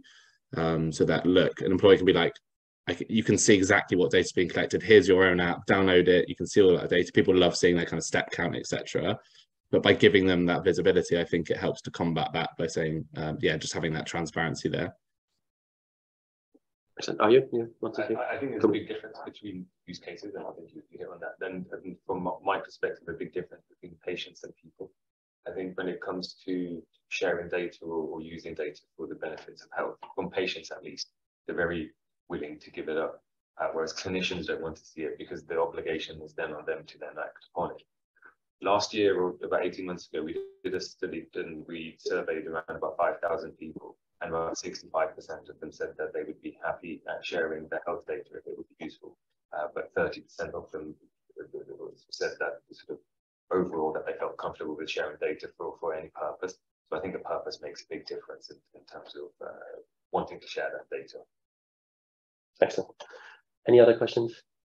Well, I was going to butt in with the medical. Please do, please do. Yes, sorry. Exactly as being alluded when I speak. And if it is harmful to the patient, I'm, I'm duty bound to do something about it. So the decision at some point in this rolling out of technology is, do I want to see this data?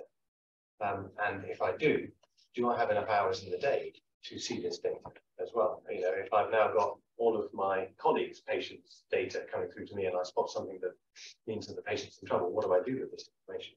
Uh, we've actually come to the conclusion we use an app for the post-op rehab monitoring where there's a database of some 60,000 patients' mobility data after surgery against which their performance is compared. And if someone's in the bottom 15% for three factors, step count, gait speed, gait asymmetry, um, if they're in the bottom 15%, it alerts the clinician.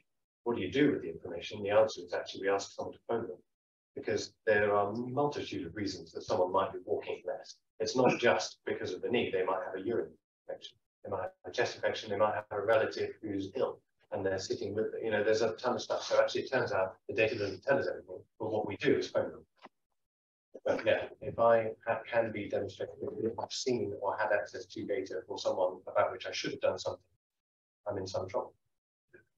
And I think from a kind of defence and security perspective, you know, we're seeing people like the army expressing interest at using the technology to prevent injury. Um, then having competing demand over you know, the firefighter who's got to go into the building but risks you know, himself going into the building. There is that balance. Yes, and the tool can be used yeah. And guns don't kill people, weapons do. Yeah. yeah. Okay. Yeah. Yeah. Thank you. Excellent, thank you. Um, we we had a question coming in earlier, which was um, actually specifically aimed at, at Chris, um, because obviously at the moment it's the triathlon sports, you know, running, swimming, cycling.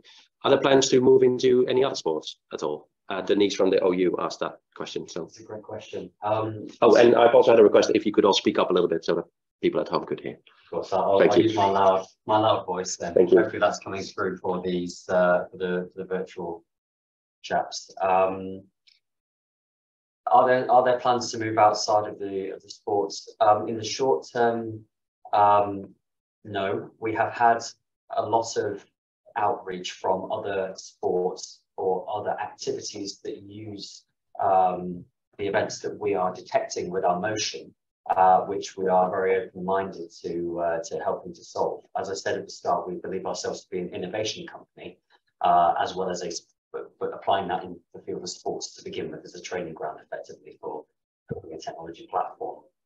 Um, there are we were talking about golf as well um, earlier about uh, helping to tell a story in activity across um, you know individual team sports uh, and, and such like. So I'd say watch this space, um, but our aim is to, you know, the swim, bike, run as activities underpin a lot of other different activities and sports. So we have, uh, you know, unless anyone's got uh, any investors that they that they know that we can accelerate things, we'll be we'll be quite okay with the swim, bike, run markets for the moment. Um, but we have looked at other applications. We are already looking at other applications, but that's more for two to three years time. Uh, so hopefully that answers the question. But Yes. um, if anyone wants to come to me specifically, very happy to have a conversation about that. Well, we, we have a number of investment firms as part of the SDC as well, so um, that that might be worthy of a of a conversation. Um, anybody else in the room with any particular questions? Please feel free. Anybody um, at home? I haven't received any any text yet on that. Um, but I've got a couple of other uh, questions uh, for that. I mean, Oliver and Blaine, if I can can come to you. Um, just as as we asked Chris on where else he could go, do you see any applications for things like the pain pad outside of hospitals or outside of a, a clinical trial Yeah. at all? in the hospital is within my sphere of influence, and that's been an easy test bed, and I can keep control of everything. But in an ideal world, a patient would simply take the pain pad home, and it would remotely upload the pain data from home to the same web database that we could see. Uh, there's a step problem there, which is that the, the patient would go home and it would have to link to something to get the information into the, the web. Uh, and essentially that would probably mean their home router. So we did develop a thing called a fit box because what we really wanted was plug and play. Literally, you give them the box, tell them to plug it into their router at home, no setup, it talks to the pain pad, and then the information goes. So that would be one way of doing it, but actually that's all a bit, there's a fix for this problem and then a fix for that problem, and it's not the simplest way, and keeping it simple is the way to go. Actually, then when the patients leave the hospital, it's an app. So having the home screen of their smart, smart device being a 10 digit numerical keypad at certain times in the day as a reminder, they click it, it goes away, then there's the reward and we get our data. So the community is definitely the next logical step, but the form of an app rather than a tangible wearable device. And in fact, we have the app developed now, we're just waiting for connection to the hospital IT system. And we're also, the, the future there is also to collect other problems, patient recorded outcome measures um, that are relevant. So, um, you know, you heard earlier about the app where you're logging the meals and things like that. There are other things that clinicians need to know in addition to how much pain you're in. So we might have them self-log their pain relief before the pill pads develop that. Excellent. Um, I kind of wanted to to ask a more generic question, and and and if we can go through through all of you, um, including Harry, because wearable technologies, it's I mean, people kind of automatically go to to Fitbits and and watches and all that sort of stuff. Uh, some might include VR sets and all that sort of stuff, but I mean, even in in this wearable technology group, we've seen um, like uh, textiles, smart textiles, and smart socks, and and and all that sort of stuff. So there, there's a vast range of of of, um, of applications and, and and potential devices. Um, but what can be done to to to push that out more? I mean, when when do we think that's going to be accepted? I mean, is it- is it always just going to stay at the watch, or when will we see an adaptation of other materials and other devices to to make that work? Because I should imagine that all of you, I mean, obviously you've got your your your device, but I mean, all of you could probably gather data in lots of different ways if they if they were, you know, integrated in a shirt or in socks or or whatever it may be. Where do we see that that might be happening? Um, and I, I, shall we start with Oliver and then work all the way down and finish with Harry, if that's if that's okay. So what I call a wish list question, Mm. and a wish list of what I could gather data from. Mm.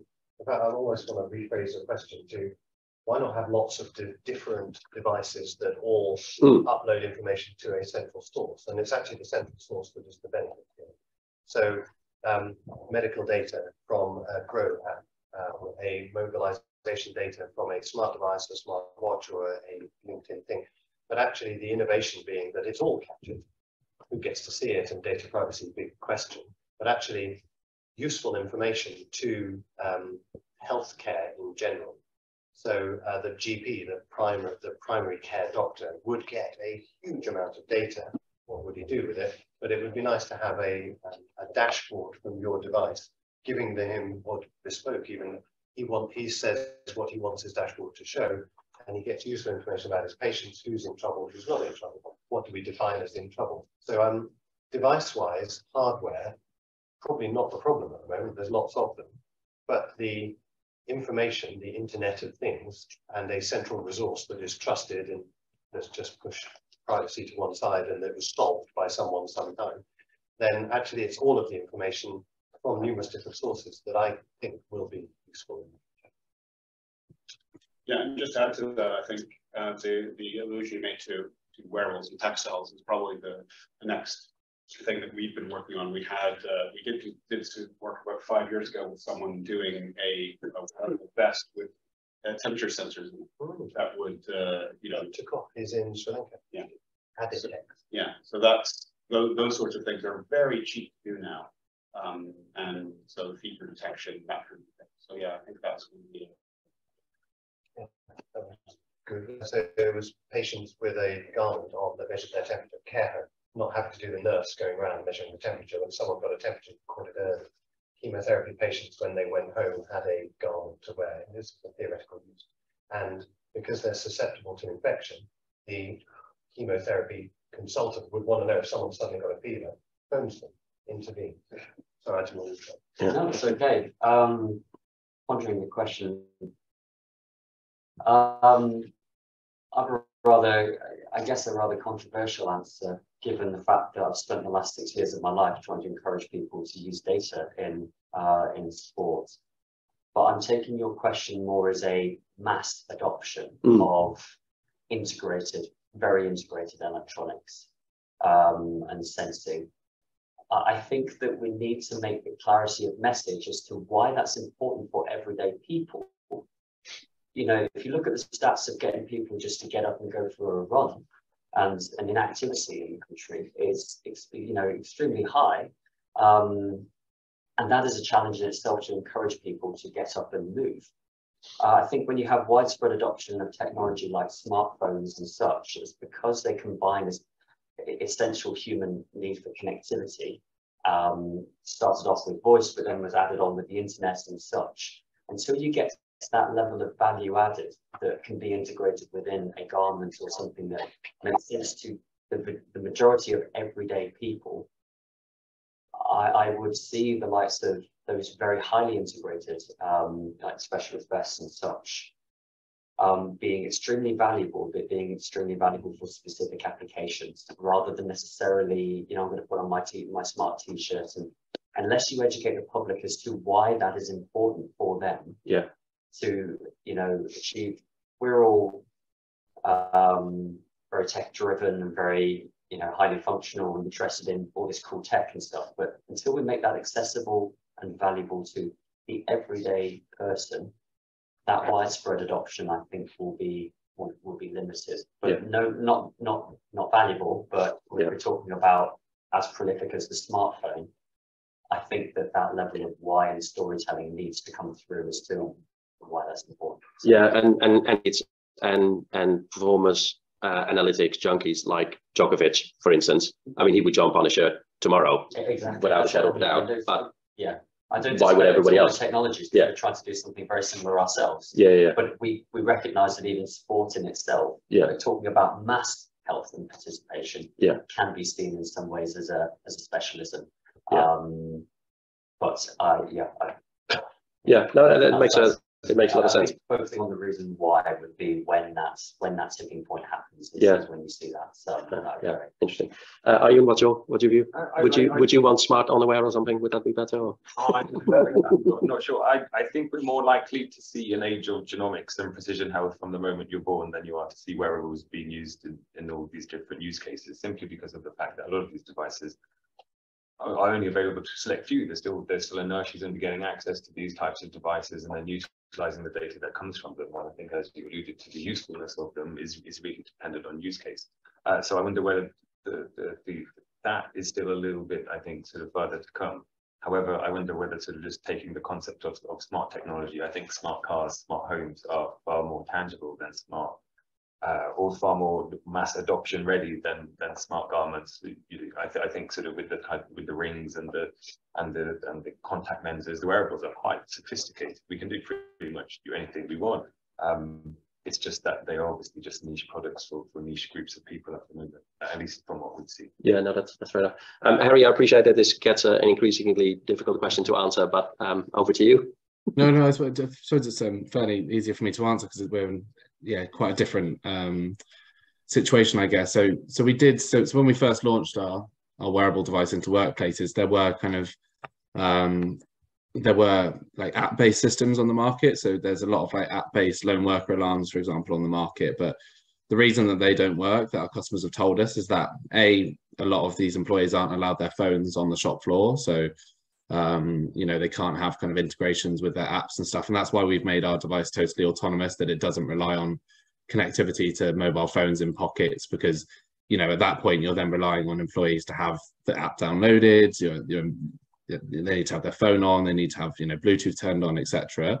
In terms of different wearability aspects, like it is really important. So we work with a lot of, so we work with like Pepsi, for example. So they're not allowed anything worn on their wrists, so they have to be worn on like a pendant or a hard hat, for example, because they're in food and drink production. You're not allowed anything on your ri- wrist for risk of contamination.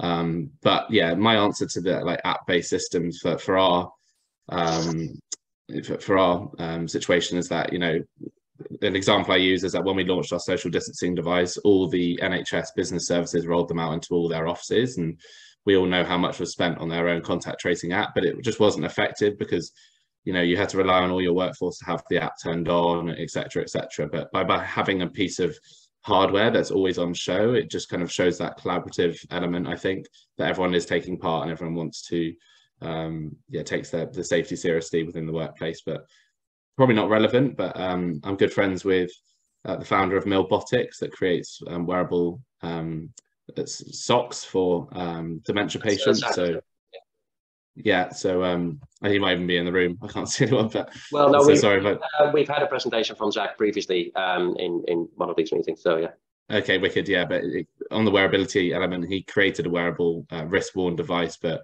you know, it just caused a lot of distress with with elderly patients. So he developed that smart sock to detect um, kind of stress symptoms, etc. So that is an important question uh, question to ask. But yeah, in our application, I think um, yeah, a visible piece of hardware is important.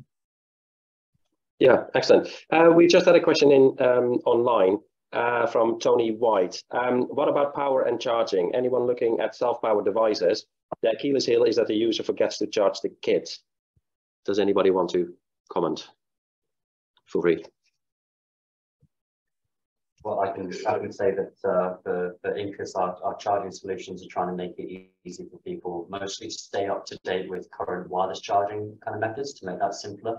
Um, not self-charging uh, yet, um, due to our application is, is not as, as low power as perhaps some of the others that there might be. I can imagine that'd be really powerful in the workforce um, application that Harry you've got. Um, but uh, you know, I, we're not we're not looking into that at the moment. No. Yeah, we, looked at um, we looked at wireless charging for our application, and that we just wanted it to be as simple as possible for employees to chuck the devices into like a bucket almost at the end of each shift, and then they charge. But because we rely on the the charging station to for the data upload onto our software platform. It just wasn't effective enough to do that wirelessly. So unfortunately, at the stage, we're kind of limited by the tech available. So um, employees have to like manually plug them in to allow that effective data upload. Um, so yeah, we, we have looked at the self kind of charging and etc. But um, yeah, because we rely on that for the data upload as well at that time, it's just not effective enough. Eric, can I just ask what the battery life is on the space band? Yeah, so it's 12 hours on a, on a single charge for the space band. So it does need to be charged um, overnight, and that's when the data upload takes place. And are you and Blaine, do you, how do you overcome charging stuff, Uh, if at all? So, I mean, that's one of the. Yes. At the moment, we've, uh, we, we, we've got about a, a week long charge, so we we just use a charging dock. At- And the patients typically don't stay for more than a week, so when it's taken off and it gets stuck back in the dock, and by the time the next patient uses it, it's been charged. Right. How do you So- achieve such a long battery life? Is it's it's really low power or It's really low power chip, and it's, Yeah. it turns on the Wi-Fi when it needs to transmit. Sure? Yeah, Yeah, so there's a, not that much of a drain. They, they upload pain data on average every two hours. So it's literally, it's a squirt. You Like you press one button and then it uploads uh, time, date, hospital number and pain score from zero to ten. So it's not even a lot of information. So um, it then, in its newest form, doesn't use much power. Listen, and are you, in a- have you we got- normally connect the smart devices that are already plugged in, so for that reason, we don't have too much of a problem with that. Uh, battery life. because it's part of the overall Yeah, daily yeah. routine of Or we can people using it. The home or it's good, or it's a plug that's connected to the, you know, that's Yeah. already, that's already got its own charge, so we don't need to worry about. Yeah. Yeah, so I, I I suppose that's kind of uh, an effective way because if if it's kind of like part of their everyday routine anyway, because they they will be charging their phone or they will be charging their their watch or whatever it is, it it kind of removes the need to think about it. Um, whereas, I mean, it, potentially for your device, because if you specifically need to put it on when you go and do your exercise, presumably you also need to specifically remember to charge it so that it works when you when you exercise. I think it's a real area of innovation that, Mm. um, you know, battery technology powering things is a huge challenge for the, for a variety of industries, but wearable technologies particularly. Yeah. Given the fact that we all want more information, higher data rates, and that all increases the power consumption. As an example for us, we are sending, we're, we're recording eleven channels of data on board the device and then have a, a- mobile network and a GNSS, um, kind of link there. There's a whole variety of stuff going on within our like relatively small devices. Mm. And that is, you know, multiples, many multiples of the kind of data that you would be sending over. So again, it depends on the application, but we're looking for that because we're sending, you can reduce that by doing a lot more onboard processing and, and such. So um, again, it depends on what information you want at what time frame, and that can determine then the battery life. Mm. It gives you the accessibility, but I do think there's a huge, huge area of, uh, of potential there to um, to grow in the future when you have um, you know body worn sensors, particularly skin skin based sensors that you can um, put on an adhesive. Yeah. those small um, devices can very much be powered in that way, and I can't wait to see what things we come out with. I mean, when you mentioned it in your presentation, I, I did think it could be quite an interesting challenge to make somebody do a triathlon while carrying a battery. You know, that's a, if you want to take it to the next level, could be quite could be quite fun. Um, uh, any questions in the in the room before I hog things again?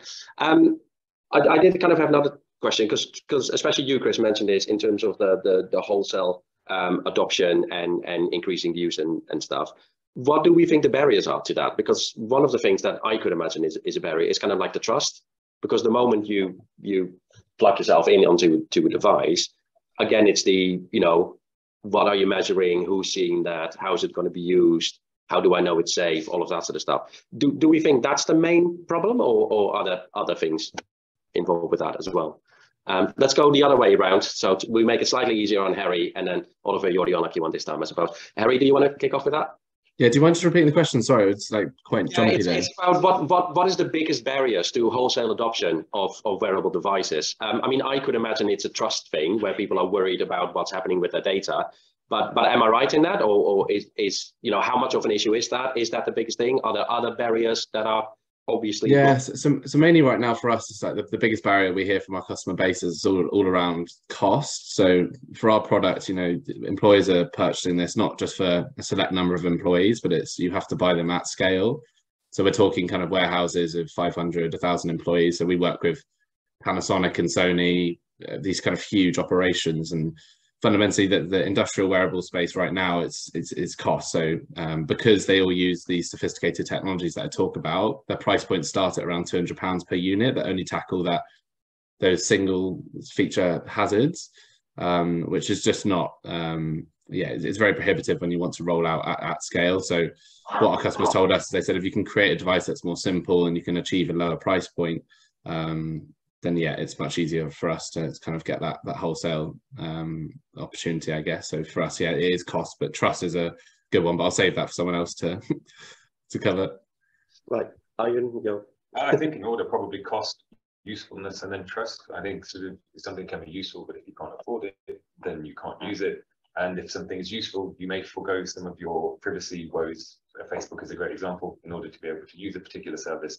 Uh, and then if they and if you if it's useful and you'll end up trusting it or just putting up with it. Uh, but I think it's then it's you know it's the kind of stories you hear about in Optus in Australia where they hack pretty much 50% of the the, the the the Optus customer user base and stick it on the dark web. Uh, I think sort of you know in that order for me, I think that's really the the, the usefulness of um, or the, the expanse of, of wearable technology. Yeah, interesting. Chris, you I very much agree. I think it's all about usefulness. And if, so long as you can provide that story as to why I'm doing what I'm doing, what this values me as an individual, I'm more willing, as you say, to give that data to somebody else that they might have their own value chain through.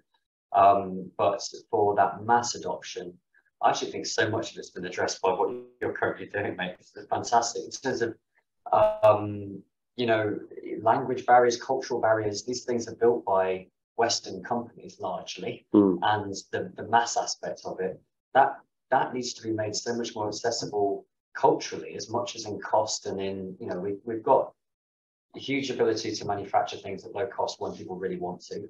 And distribution, albeit trickier with certain geopolitical aspects today, is possible. But the cultural side of things, I think, is something that um, you're going to see these developing nations very much um, needing and they're going to have completely different uh, needs and, and, uses that um, the technology has been built for a for a more of a Western audience. I would like a huge generalization there, but yeah. I think just the stuff that you're that you're doing, precisely addressing those key barriers that I believe are for them for the mass. Because obviously, if people feel that it's not necessarily for them, why would they be activated to engage in it? There's so much that yeah. we take for granted and in our societies. And I think that um, having that, um, you know, the, the, the, mass adoption, we literally think about the proportion of the whole globe here. You know, there's such an amount there which is not represented. And I think having the right language and right cultural nuances to giving that value over, mm. I think that's one of the bigger barriers for when I'm talking about global adoption of this kind of technology. Um, yeah. That, that's my perception of it. Yes, fascinating. Yeah, so for me, I would just adding to that, I think it's the adaptive usefulness and adaptive engagement. Because the biggest problem is that people's needs change over time and people get bored easily. In the early days, when I was doing studies on Fitbits 10 years ago, um, battery life was a problem because they had to remember to charge it. They'd leave it on the charger and then forget it was the charger. And it'd be days would go by before they were it again, if they wore it again at all. And they weren't really getting useful data from it. Um, and in the further studies we did years later, we found that you know people often tried gamification as a way of engagement. And that only worked if your personality was tied to gamification was aimed at it. It was if you're competitive, you wanted to beat the other people. You may just be competitive with yourself. Competing against other people may just turn you right off. And keeping the uh, the device and the, the information you're feeding back to people useful for them at the time, I think is the big key. Because otherwise, they will get bored because they're they change. Hmm. Engagement will drop off. Interesting. Oliver, anything to add? Well, not a hell of a lot, but I would throw in a spanner called wrist space. Um, do I want to wear a nice watch that I like, or do I want to wear a smart device, or do I want to wear one of each? Um, and at what point, so you can see my answer, I'm wearing a nice watch, I don't want to wear a smart device on my wrist, I have one in my pocket, do I need to? Um, what threshold am I going to choose to go from something I like to something that's a bit funky looking, but has greater functionality?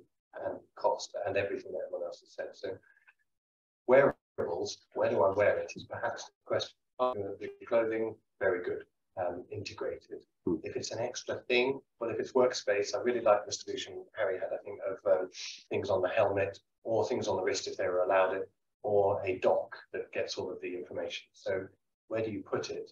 And wrist space would be my answer. Excellent. Well, that's, so there's uh, variations on the on the team in terms of the answer. So it kind of sounds like mass adoption is not that easy to achieve very quickly um, at, the, at, the very, at the very least. Um, right, I'm, I'm conscious that we've got lunch served um, and that we're, we're, we've we've come to the to the time. So uh, final call for any questions from anybody in the room. No, we're quick question. Yes, Jonathan. as the conversations flow, is there a challenge around kind of creating communities within what we do? Because if you've got a community, then typically they're more accountable and they're equally more engaged. Is that something that you all find is a challenge within itself? I've got a big smile on my face because I was about to interject at the end of that and say for mass for mass adoption, it has to be integrated within community. And I think just community is such a great word because why do we do what we do is to interact better with other people and other humans and to enjoy our human experience more. I know it sounds a bit, you know, um, up in the clouds, but I think it's important to recognize the reason why we have technology is to improve our human experience. And that's largely driven by community and who we spend our time with, how we connect with people and connect on um, technologies that connect people across the globe. They're effectively enhancing this sense of community. And so um, more to an answer to that previous previous question there, but I think community is so important because it provides the reason why and also provides that sense of accountability to that um, subconscious element in your head that says, well, you know, why am I doing this? Because actually I can see other people, I can see the benefit that they're getting, or I can I can compare myself a little bit more. And I think um, it's it's a positive reinforcement in, in that way, isn't it? yeah, an embodiment of what we're trying to do that is trying to compare people on the, on the world stage and their metrics and giving inspiration to everyday people to say, oh, I can do, you know, his heart rate is X in when he's doing his running or cycling. I'd like, uh, I'm here, and this is going, I'd like to get to that point because we always want to see examples of those things that we can aspire to be. So I think it's super important and, um, and has baked into a lot of the mass adoption technologies that we see today as community. So uh, it's not hard to do. If you do it on purpose, it's a way of going viral. You know, if you can create community and a feedback loop that makes the thing grow, that's, that's the one. Yeah, tactical. You can do it on purpose or you can do it by accident, or it can happen as an evolution of your device because it is useful and communities form around it, or you can cynically make it. But it's a it's a real tool. Um, one guy I think you may already know about um, is called Professor Gurch Randhawa in Bedfordshire, whose entire field and he advises the government on is minorities and healthcare and access to and everything. And if you haven't already met him or he doesn't know about you, it sounds like the two of you are doing the same thing from completely different angles and would have a hell of a lot to talk about. Awesome. Brilliant. That sounds good. Yeah, excellent. Uh, no, fantastic. Thank you. Thank you all very much for that. I think we'll leave it there so we can uh, enjoy along. But if we can give a traditional thank you to the panelists and speakers. Thank you very much for uh, contributing. Um, I just want, want to wrap things up where I'm going to share the screen, um, which will hopefully work. Um, where, um, as I, is this kind of working? As I threatened earlier, uh, your feedback is important. Um, so, uh, and it works at home as well. So if you could all use your, your phone, just sort of scan in the, um, scan in the, the QR code and, and answer a few simple questions really helps us to um, you know, know we're on the right track with these things and also how we can improve them. Uh, I mean, obviously in the room, it's mandatory to do that in order to get food. Um, I'm not quite sure what threat we can um, pose to the people at home. Um, but um, yeah, maybe I can just guilt trip you into not having access to your own lunch if you if you don't do this somehow. um, but um, yeah, if you could please all give it a scan um, and answer a few simple questions, then um, then that would really help us. Um, so thank you very much for all of that. Um, as soon as people in the room here have done that, then obviously you're free to engage with the food. Um, until then, until then, please fill in the fill in the questions. But thank you all very much. Cheers. Thanks, guys.